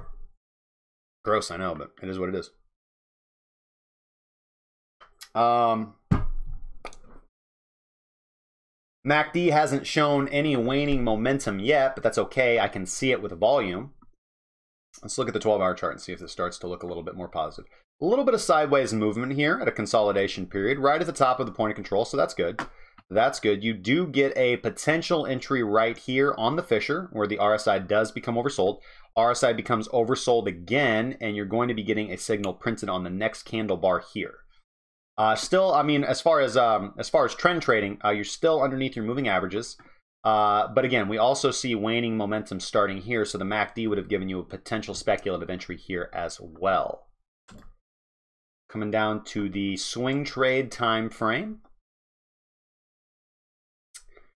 Swing trade time frame, you've got some pretty strong resistance up here, so you're looking to break out. However, you have another pocket right here. Ooh, all right. What do we get? What do we got? Thank you so much for the sub. I missed it. Yeah, it's water. Uh, let's see here. Uh, whoever, uh, let's see here. Oh, uh, Midov, thanks for the YouTube subscription, man. Appreciate it. Uh, let's see here. Um, Let's see here. So Fisher transform on the six hour bottoms above the zero line. Not generally fantastic. It means we're not entering into an uptrend yet. But again, we're talking about trying to counter trend trade. We're trying. We're talking about trying to catch the bottom here. All right, and your RSI goes oversold here. This whole period is oversold RSI. So this is RSI telling you it's an okay to enter. Although Fisher would have not had you enter until this candle and then this candle as well. So again, we're using RSI to confirm overbought, oversold positions with our Fisher, which is actually graphing price like a wave and predicting the more likely turning points. I don't know, guys. I would probably be out of this uh, just because of the current alt market right now. I mean, there's great trades to take, but I'm less trades right now uh, because price can just go lower and you can just get stop loss on it out. It doesn't look terrible. It, it actually looks like okay. But for me right now in the alt market's like okay isn't good enough for me. It needs to be fucking perfect, man. Yeah, let's go to the hourly chart. All right. Say you're let's say you're intraday trading this. So, I mean, yeah, I mean, listen, I would just wait. I'd go down your lower time frames. Maybe your hourly, your four hour would probably give you better confirmation, but you're a ways away on your four hour chart, you know. Um, you know, hourly if you really want to be speculative.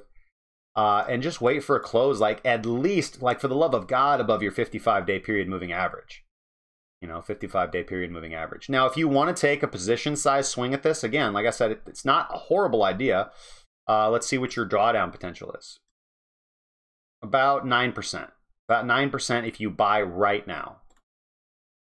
And what's your upside potential? Well, you've got some low volume nodes, but let's see where your resistance would be. Let's see if it's a let's see if the risk reward ratio is in it. Okay, so there's your areas of resistance. If you can make it above those. So, pop out our handy dandy long position. Internet Dun, dun, dun, dun, dun, dun, dun, dun, dun. So the risk to reward ratio on that is not worth it to me. The risk to reward ratio on this one would, of course, be worth it to me, but I don't see it yet. And if I were looking for that kind of risk to reward ratio, I would definitely want to be seeing bullish confirmation of a reversal in trend so that you can actually get into something that's going to make you money. Uh, HJB, thanks for the sub on YouTube, man. Appreciate it. I will move. Listen, malicious upload. I will move that over to the upper right. I got you for sure, dude. Uh, I will definitely move that over. Um, let's see here. Yeah, I would definitely wait for a reversal in trend to be getting into this one, guys. Normally, I'm all about buying the bottom, buying on these. Uh, uh again, buying on big red, uh, big red candlesticks, but we don't see large volume down here. That is telling us that selling pressure is exhausted. This is just run of the mill sell off bearish candlesticks. Now, can price move up from here? Absolutely, but it's not a setup I look to take. I looked at if I'm entering into a position like this, I want to see capitulation. I want to see a big ass, big old red candle right here on volume and a movement probably like down to here. You know what I mean? Then I'm like, oh yeah, it's time to buy that. There's no more sellers in that market. Mm-hmm. Know what I'm saying? All right. So uh, hopefully that was helpful, man. Uh, next one, uh, next three should be pretty quick. XLM, BAT, and ADA. So we'll look at XLM real quick because we just took profits on XLM. Base. And XLM's looking pretty goddamn good. Let's look at the daily, man. God, XLM just fucking continues to perform for us, man. So, guys, if you're still holding your XLM, man, move that stop up. Move that stop up, guys. You know how we do it. And let's fucking hit this bit. All right, again, we're we're coming into that really extended period, guys. We've broken above major resistance though, guys, and closed above it. That's what's pretty cool, dude. Let me close that because that was like short time frame. Okay, so again, didn't I have just some alerts go off on XLM? Uh,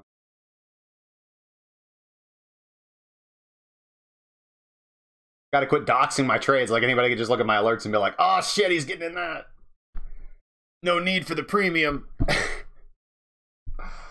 uh yeah, guys. So here's like our strong support now right here at 42.36 on the daily. Uh, and you know, and we we tested that, rejected from it, and then we were able to break above and close strong above it on three days, three consecutive days. So where's our next areas of resistance?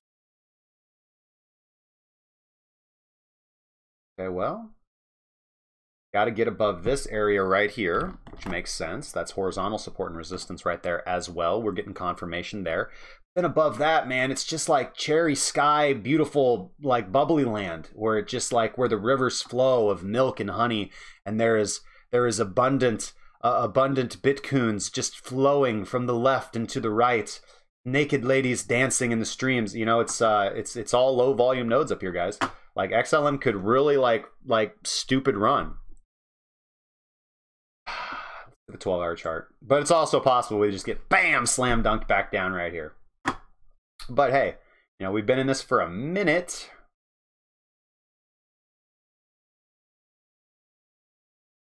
yeah, last time we bought a little bit here. I bought a little bit more at 4084 right here, and boom, boom. At 8% on this last play.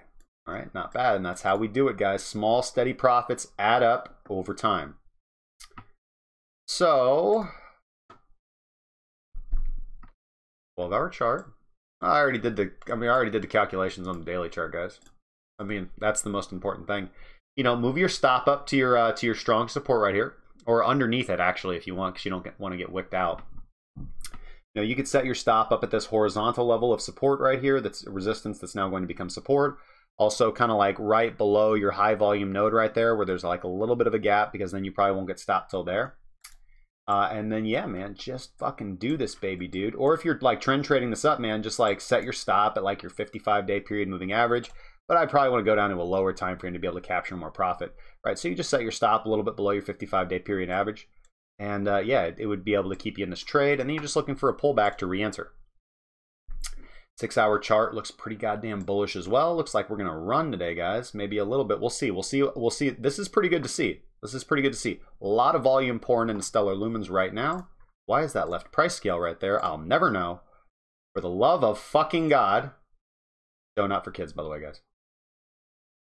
Yeah, and uh, the RSI not moving into an overbought position. Not not on the four hour, not on the six hour, not on the twelve hour, guys. We've got some room to run.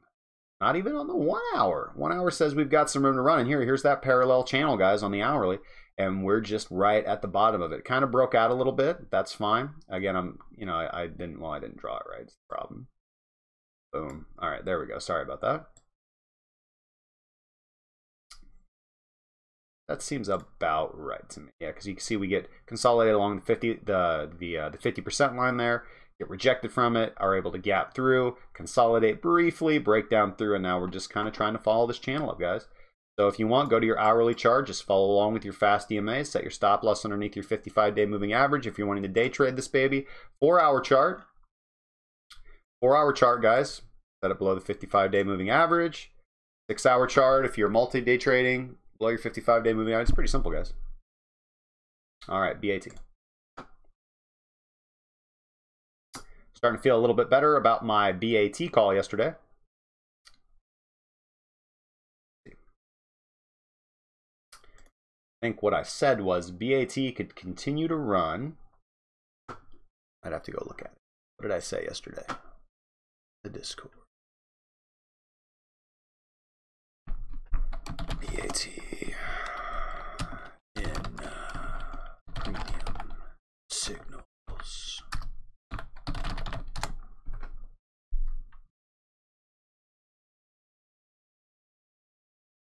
Okay, yesterday at 6.03, still looking for this breakout on BAT, consolidating at resistance.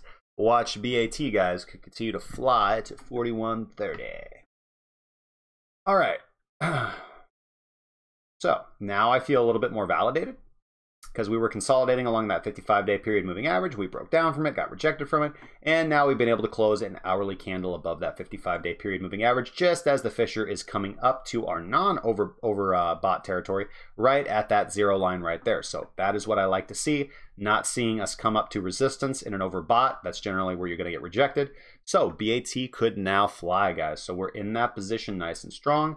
Stop loss down here at 37.50. Probably go ahead and move that maybe right on up to the bottom of the low volume node right now is what I'll do right live on air like that.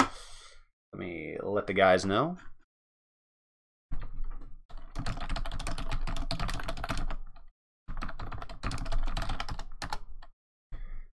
Boom. All right, cool. And uh, yeah, we'll just be watching that one closely, guys. We got some room to run. We're entering into a low volume node area, guys, so we don't really see resistance up here until 39.57. And uh, going to a little bit of a higher time frame. A little bit of a higher time frame. Uh, we don't really see a lot of resistance till 43.25, which is like pretty cool. But uh, on the four hour time frame, got some resistance. Got some resistance above us, guys. Got got got room to break above. Got room to break above. Fisher transform potentially giving us a buy as RSI rebounds from the 50% line area. Ooh, but uh, we'll MACD's trailing behind a little bit here on the four hour chart. So we'll see if we actually do get a change in trend. Swing high to swing low, where do we come down to? Our 382. Generally, we want to see a 50% or a 618 retracement. So still uh, next period of resistance, looking at our 55 period moving average here. So that would be around that 4,000 mark. So we'll just watch that closely on the hourly chart, or on the four hour, excuse me. So yeah, let me go back to the four hour. So again, you want to zoom out to your next time frame to look for where your resistance is going to be. And I'm going to put an alert. Uh, price crossing my slow EMA.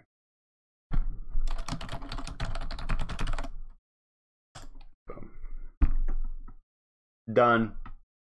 Looks pretty good, guys, though. Looks pretty good. Volume coming in. Not a whole lot. So we'll see if we get play off of it. Uh, let's see. Moving on, moving on, moving on. Onwards and upwards. Bro, you've been hanging with Red Planet 32 a little bit too much. Wow, why do you say that? A little bit goofy? I was goofy before Red Planet 32, man. Guaranteed. All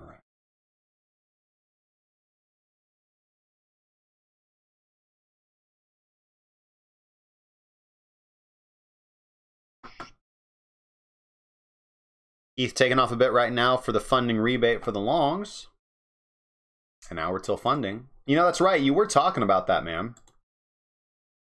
I know a couple guys that uh, that I've heard. I mean, you, I've heard that idea before, like to a trade a trade sentiment based off that.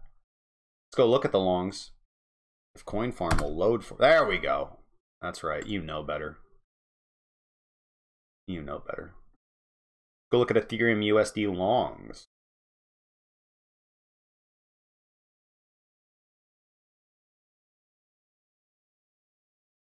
Yeah, you see the last minute, last five, last 10. Yeah, their uh, longs are piling in. Take advantage of that funding. Yep. Crypto going to 1800 on long term charts. I assume by crypto you mean Bitcoin. And uh, yeah, that's all uh, speculation, man. Because shit happens, man. We do things one day at a time, one Satoshi at a time check in with our beloved Bitcoin real quick. All right, guys, here we go. That run back up.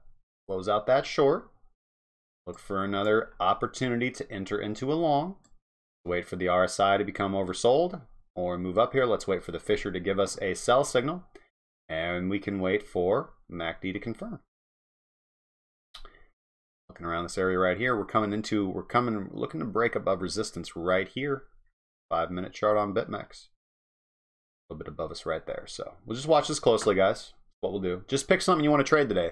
There's a lot of exciting things to trade today. You got Stellar Lumens, uh, BAT, uh, MI uh, Myth, uh, Ripple on. Uh, let's go look at Ripple on BitMEX. Is Ripple exciting the trade on BitMEX? I don't know. I didn't really look because the spot price is doing something. Doesn't mean the market mark mark price will be doing something fantastic. Sorry. Yeah. The last five minutes. I mean, look how volatile this bitch is. Oh yeah, forty percent trades all day long, baby. Uh, this would have been an opportunity for a short right here. RSI gets oversold.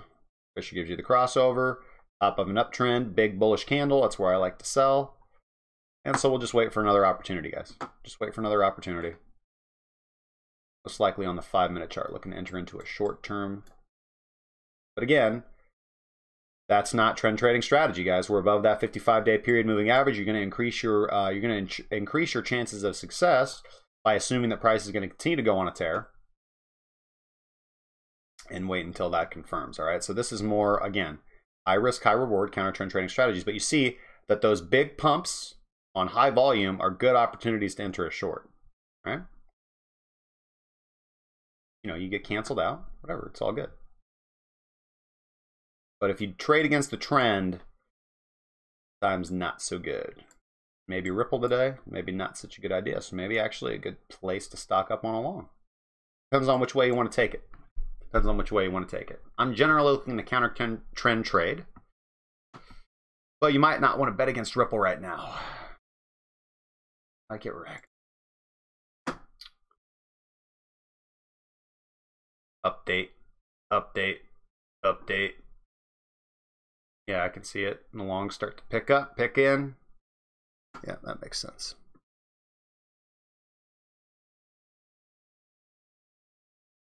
Uh, Initial D asks, are we in the same situation as the crash at the end of 2017, or are we in a whole different situation? Well, we're definitely in a completely different situation as the crash at the end of 2017, because the crash at the end of 2017 was uh, at the top of a uh, absolutely insane, irrationally exuberant bull market. Malicious Upload says, I linked your stream in my Discord, so hopefully you gain a couple new subs. Hey, I appreciate it, man. Bitcoin has so much fraud going on, so all my Bitcoins for XRP. Uh, welcome to the uh, welcome to the uh, XRP uh, Shill Club. So you basically sold all your Litecoin for XRP. You guys are funny, dude. Uh, CV and it. However, I do have to look at the last request first. And the last request was Cardano.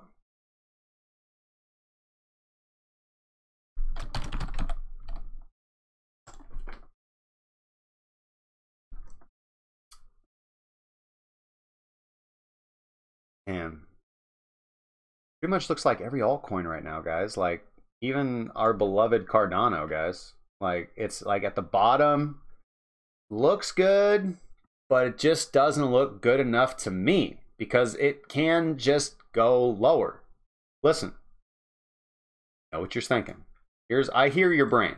Your brain saying, "But Justin, look at the hammer candle." Okay, let's do a little bit of uh, bar replay. Okay. Okay. So this is two days ago. But Justin, look at the hammer candle. Bomb. I mean, come on, guys. Price can go lower, okay? Because you see a hammer candle, even one on you know like fairly okay volume right there. But again, that's not that's not super significant to me. It's not it's not an outlier, okay? Uh, yeah, man. Like I just need to see like bullish confirmation, and it's not so much to ask. It's not so much to ask that these goddamn coins close above the 55 day period moving average for once since frickin' May. I mean, is it so much to ask? Still bearish, guys. Look at that. 55 day period moving average. Broken in May. Resistance. Resistance. Resistance. Resistance. Nothing.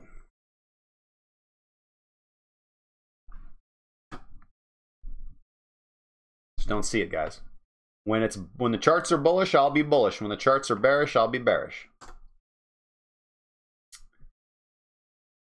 All right, looking at the 12 hour chart again, you know, is there a possibility for you to reverse here? Yeah, but I mean, you're at the bottom of the uh, of the HVN here, guys. There's a pretty yawning gap below you.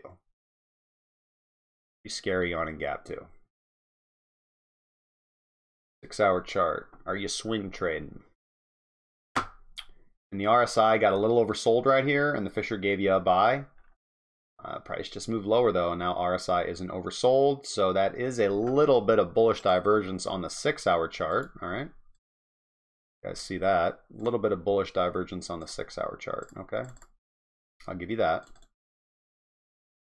Bullish divergence on the Fisher as well. Okay, on the six-hour chart. But again, it's just not good enough for me, really. Four-hour chart, Be a little bit more pronounced. All right. CNVR Zero. Thanks for the sub on YouTube, man. Appreciate it. Yeah, it just doesn't look good, man. Like, ugh, God, I want to see some nice, like, bullish candlesticks pouring. And again, like, but we saw that here, dude. Like, we saw, like, let's bar replay here on the four hour chart. Okay. Okay, look. Like this is what it would have looked like at that point in time, right? Look, you get this nice, strong, beautiful reversal hammer candle on strong bullish volume. Like, fuck yeah, Cardano, we're going to the moon. Bum, da dum. Like, just didn't happen, man. Didn't come in. So yeah, not looking good. I mean, even on your lower time frames, you're not in. You're not. You don't see a trend reversal yet. I mean, you could have at least traded this right here. You could have bought on the breakout of the 55 day moving average and sold, I guess, probably when you're 20, 21 day. So you don't want to sell on the, like, okay, so this is a buy signal, okay, and you're respecting your trend trading. You're, you're probably looking to sell and then you're looking to re-enter on every retouch of your of your uh, fastest moving uh, moving average. Uh, and then once price touches your, uh, or either closes below, really is the way to do it. Closes below either your uh, medium fast or your medium, then you're looking to exit the position. So that would have kept you if you just bought on the initial signal, uh, and you got a uh, you got a buy signal from the Fisher transform, and uh, MACD crossed over right here as well. let's see if you go back to the beginning, like RSI gave you a buy signal here, Fisher transform gave you one two bars later and you also get on that same bar change in momentum and then bullish momentum start to pick in here continues to rise. Good sign to buy in at this point. But yeah then you get the crossover the 55 day moving average. So you definitely would have been in this trade uh, here and you probably would i would have been out like right around here. So that's like a good 6% trade. It's cool man. But yeah um not right now not today not today. We'll check back tomorrow. Maybe it looks better tomorrow you know I doubt it. All right, sir, let me look at your charts. And then I'm going to get off of here. It's been a long day. Oh, three of them. Three of them. 33 Rue. By the way, you guessed the link drop. Can you do that again today? A link drop. Fast Money Crypto, good video. I am a fan. The Oracle, good to see you, man. Crypto Kibo, Nope. Not uh, not feeling that Mibcoin thing, man. Saw that shit with Electroneum, and one of my good friends got fleeced. You can take that Mibcoin and push off with it. Uh, money make, money make, money, mackle, money make. Yo, what's up, dude? Uh, Um, what do I think about BAT? Uh, rewind the video, man. I did BAT. I did BAT. Ronaldo Ramirez, have you seen Genesis Vision? Uh, I have not seen it. I have. I know what you're talking about. Do you think the VPVSV developing POC is a good bias instrument short term? Yes. Yes, I do. It is pretty fantastic. Like, let's, I'll give you a, hold on, sorry. I'll do that. Let me look at this dude's charts. Ether, I did it in depth, Gregor. Uh, please rewind the video. Willie Grow, how we doing this morning? Good to see you in the stream. Uh, let's look at. Um... Oh, this guy's charts. Could you take a chain uh, look at Chainlink? Rewind the video, brother. I did a long, long, long review on Chainlink. Uh, let me go back to uh, C uh, CVNR zero. Here we go. Here's your first chart. Just a meme. All right. So let's see what we're looking at here. Uh, oh, you got Elliott wave stuff going on. Okay. I see what you're saying.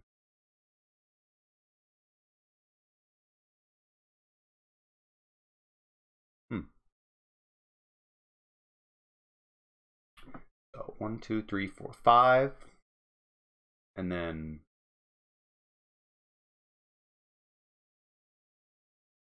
You switch to the ABC at some point. I know that.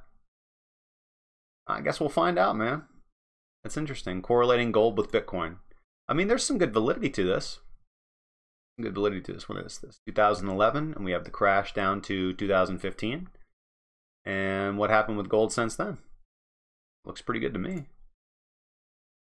Pretty good to me. Recovered quite nicely off that bottom. So yeah, is it possible, man? I don't know. Uh, you know, I've drawn the uh, one of the things that I did was if we go over and look at God, you're killing me, dude. Uh, let's see here. Go look at. Um, I don't want to mess up any charts. I'll just do it on ADA. Okay, so here we'll go look at BTC USD on Bitstamp.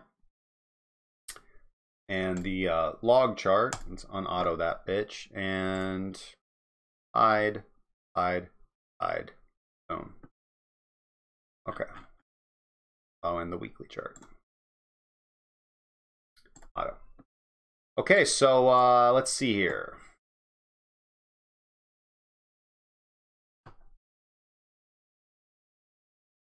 Yeah, that one got broke. What's the one that everybody's been drawing? Here we go. I think it's this one, right? Yeah, here we go.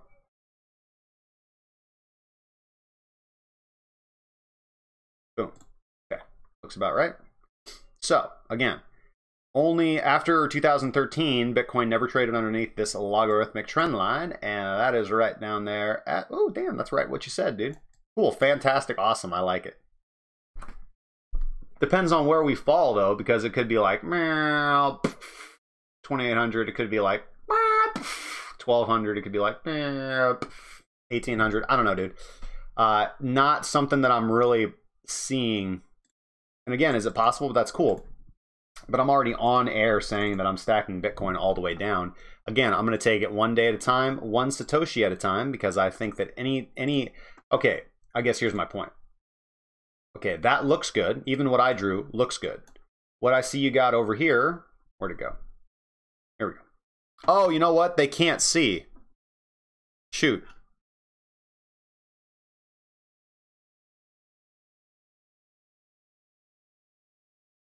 Sorry about that. They can't see. Let me uh let me um let me add it. Uh oh, yeah, this is the easier way to do it.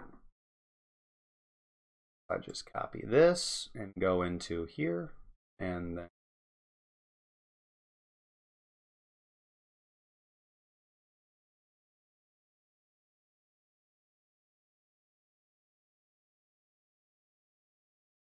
Come on, man. Okay, I guess I'm gonna have to do it this way. There we go. so, okay, this is the chart that C uh, CVNRO uh, was talking about. And so he's correlating the price of the Elliott wave movement of uh, of gold. But I don't like, I'm, you know, again, because like, what about this stuff? Like, I see you don't have it all waved out. But again, I'm not being, I mean, I'm not saying you're wrong. I'm just being critical of you. Uh, and again, like one, two, three, four, five. But again, we'd have to look at previous data and see it waved out. That, you know, like Elliott wave theory to me tends to work in hindsight, hindsight, and I don't know anybody that makes a lot of money off Elliott wave theory. So we were bounce down to the low of 2 in your estimation. All right, and then we see price recover after that. So I guess the takeaway from this is that price will recover if we go down to 1711, which is cool. Let's go take a look at what I have uh, looking at volume. So let's take a look at the weekly chart on Coinbase.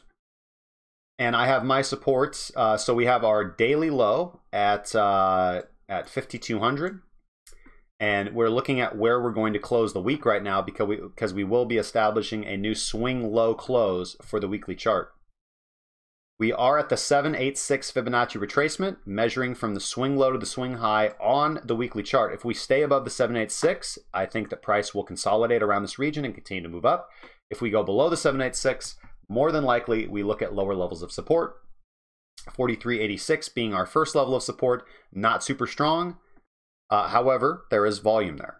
Uh, next level of support, 2931. Again, more volume there as well. That first level of support corresponds with the descending channel that we've been trading in for a while. And that second uh, that second level of support is probably going to correspond to our 618 on that channel or our 50% retracement line confirmed by volume and horizontal support and resistance. So, interesting, possibly, but have to wait and see, man. Because how many times could you have drawn this on an asset and it went and it and it played out differently? So we'll see, man. Cool idea though, man. I like it. I dig it, dude. Let's see. You posted a few other charts. Look at those super quick. I'll look at one of them and then I'm going to do the uh, VPSV and then I'm gonna I'm gonna bounce. Juggling a lot.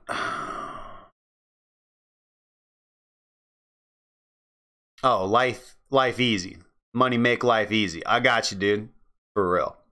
You could open up a trading fund and people decide to invest on performance, all thanks to the GVT token. They'll add Forex soon. Sounds great, dude. Let's do a challenge 1000. Uh, thanks. Sorry, I missed it then. Hey, no problem, man. Start, make 1% a day for two years. Possibly, yeah. Will market go up again so we could recover huge losses because of getting in the market when it was bullish?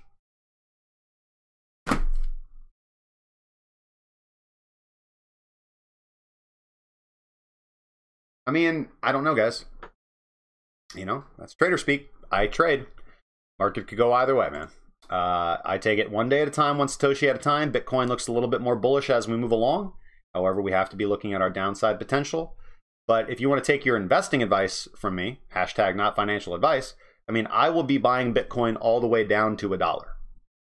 I've staked my claim. I've spent, I've invested too much of my career in Bitcoin. Uh, and again, I'm not, it's not a, a bullheaded mentality that I'm not willing to walk away, but I believe in the fundamental aspects of Bitcoin. So I'm willing to invest in it. Now, will I let that take me, will I let that take me into an unprofitable situation? Like, no, like if, if my Bitcoin investments start to not be profitable, uh, but for right now they are, and I can I can see them being profitable all the way down to three thousand because of uh, now Deribit and being able to trade futures and options. So I can continue to just stack up my Bitcoin in a highly you know in a, in a very volatile market. Love it, beautiful. If that doesn't work, heck, I'll go trade options in traditional forex. Forex is kind of dead to me right now, but I'll go trade options and uh, and continue to invest in Bitcoin because it's pretty fucking awesome. When everyone starts buying it, will go up, but now seems people are waiting to buy in. Yeah, I agree with you. I mean, we're seeing a little bit right now, but we'll just kind of wait and see where this weekly chart, uh, this weekly candle closes for the monthly.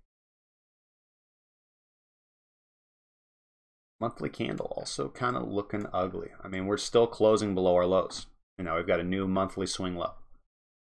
So, have to wait and see, guys.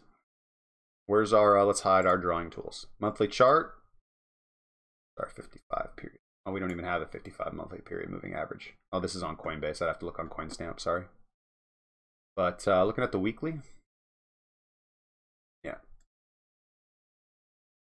Weekly still getting resistance right now from our fastest EMA and our, our slow fast. So again, we tried to break above the 55 day period moving average, which was pretty pretty nice. And then we have the Bcash, uh, you know, well, no, this isn't the Bcash split war. This is the Bcash bullshit split war right here, but. Tether FUD, boom. So we'll see what happens, guys. One day at a time, one Satoshi at a time. Don't get over your skis. Make money trade.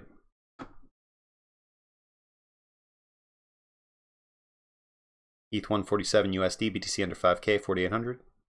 Fast Money Crypto. I sold at 16K, bought two Lamborghinis when they arrived. BTC was 6100 USD. Killing it, dude. All right. Uh, so I will give. Uh, I'm gonna. Uh, I hey man, I'd like to see more of your charts. Um, uh, CVNR zero, but um, I want to I want to do this uh, VP uh, VPSV for my man's, and then I gotta go. So let's bring up a decent chart. Yeah, let's look at uh, Bitcoin dollar, and I'll pull up. Let's do the we let's do the daily and linear and auto. Okay. We'll go to indicators, and we'll look at volume profile and session volume.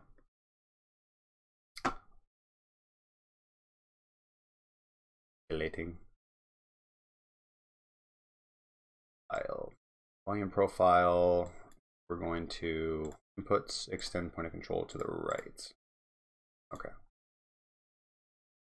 Now, this all looks crazy, but uh, this is one of the most useful tools of VPSV, session volume. So what session volume does is it breaks on a daily chart, it breaks every trading day, which is 24 hours, one day, into a volume, into a volume profile. So you can actually see the volume profile for each day.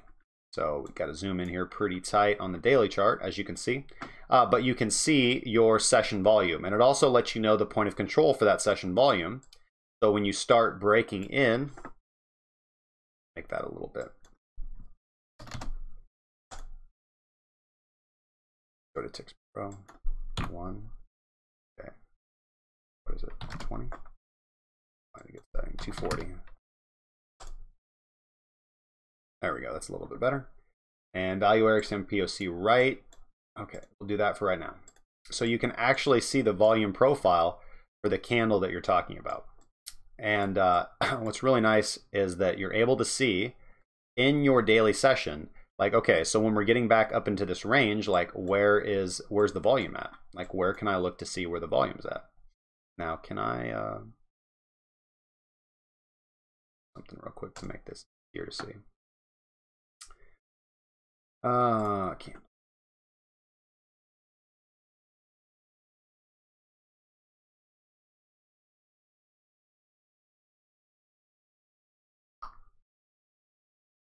Figured that would work better.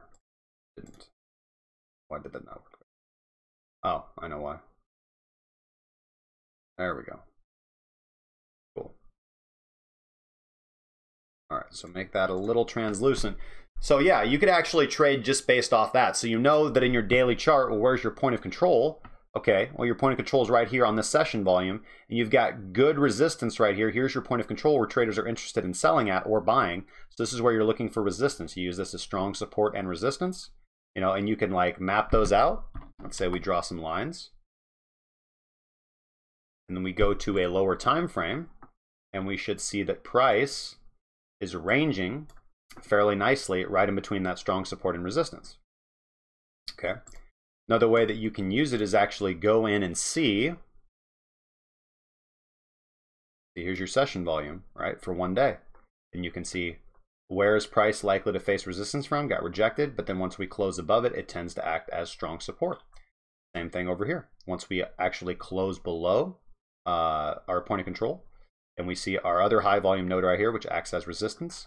These are all, these are all, I mean, this is a really fantastic tool to use. And you can also see that there's no frickin' volume down here. So you're looking at areas where price is not likely to hang out very long, where if you see price go into these areas, you can generally be safe and going the direction that, uh, that low volume is.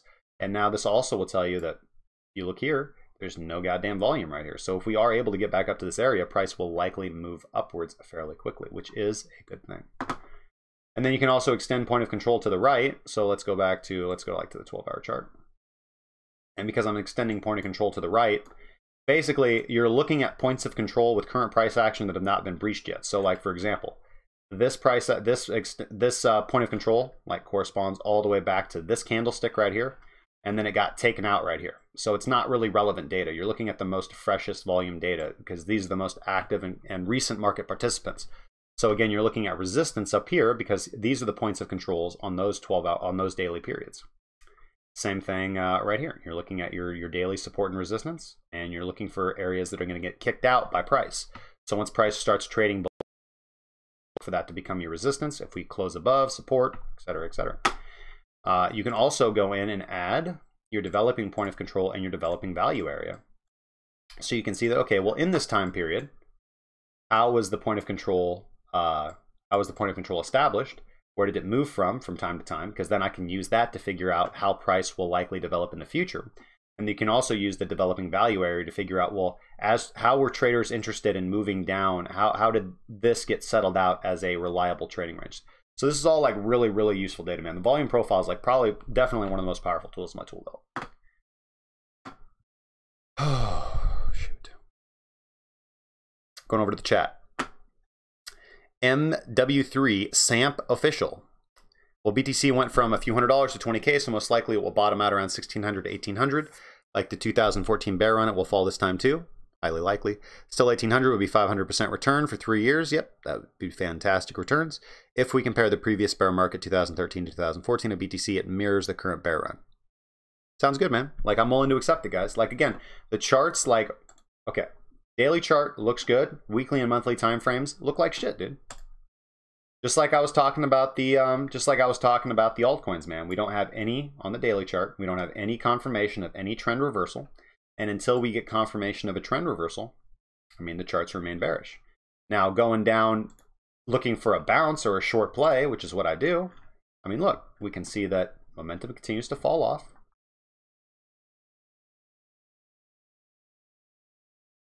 Momentum continues to fall off, and we've had a good, nice, high volatile dip. We should generally see a nice little bounce back up on our daily chart to at least our eight period moving average. That would be nice to see.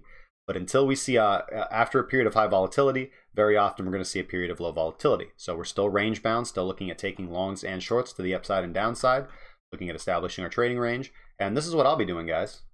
I will be over here. See, I told you guys shouldn't bet against XRP. I'll be over here on the BitMEX chart. And right now, I'm probably looking to go short. Uh, on the intraday time frame, I'm probably looking to establish probably looking to establish a potential long bounce up to 5600 is what I'd like to see. So all right guys, I have done enough damage for one day.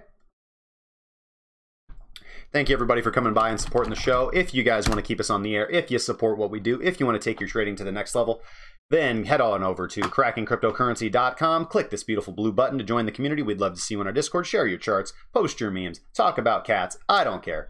Love to see you in there. If you want to support me and keep the lights on, make sure to check out some of our merch, guys. We got it all t-shirts, caps, ball caps, all that fantastic, fun, beautiful stuff. Scott worked hard on it, and you guys don't want Scott to eat ramen noodles. If you guys are interested in taking your trading to the next level and you want to follow along with our mentorship program and follow our trade signals, you can check out what we have to offer in trading signals. And as always, if you want to contact us, you can drop a line to contact at crackingcryptocurrency.com or fill out our beautiful form, guys. Make sure to check out your crypto daily news on crypto or on the YouTubes. Uh, you know, we're worldwide. Scott posts the uh, the um, links. Yep, there he goes. There, there he goes with the links. We're all over the place, guys. Twitter, YouTube, Mixer, Periscope, blah blah blah. Yeah, fan, fantastic. But the best place to find us is in our Discord, as always, guys. Feel free to DM me if you have any questions. Uh, check out crypto coins for bounties, airdrops, and giveaways. Go check out MMO Coin, X42. Uh, let's see here. And um, I feel like if I have anything else to plug. Felt like a, oh check out my interview tonight with Calum from Project Zero Z uh, tonight at 8 p.m. Central Standard Time, 9 p.m. Eastern Seaport Time, guys. Looking forward to that interview. That should be fantastic, guys. That's all for me for today, guys. You know what time it is. Cue that outro.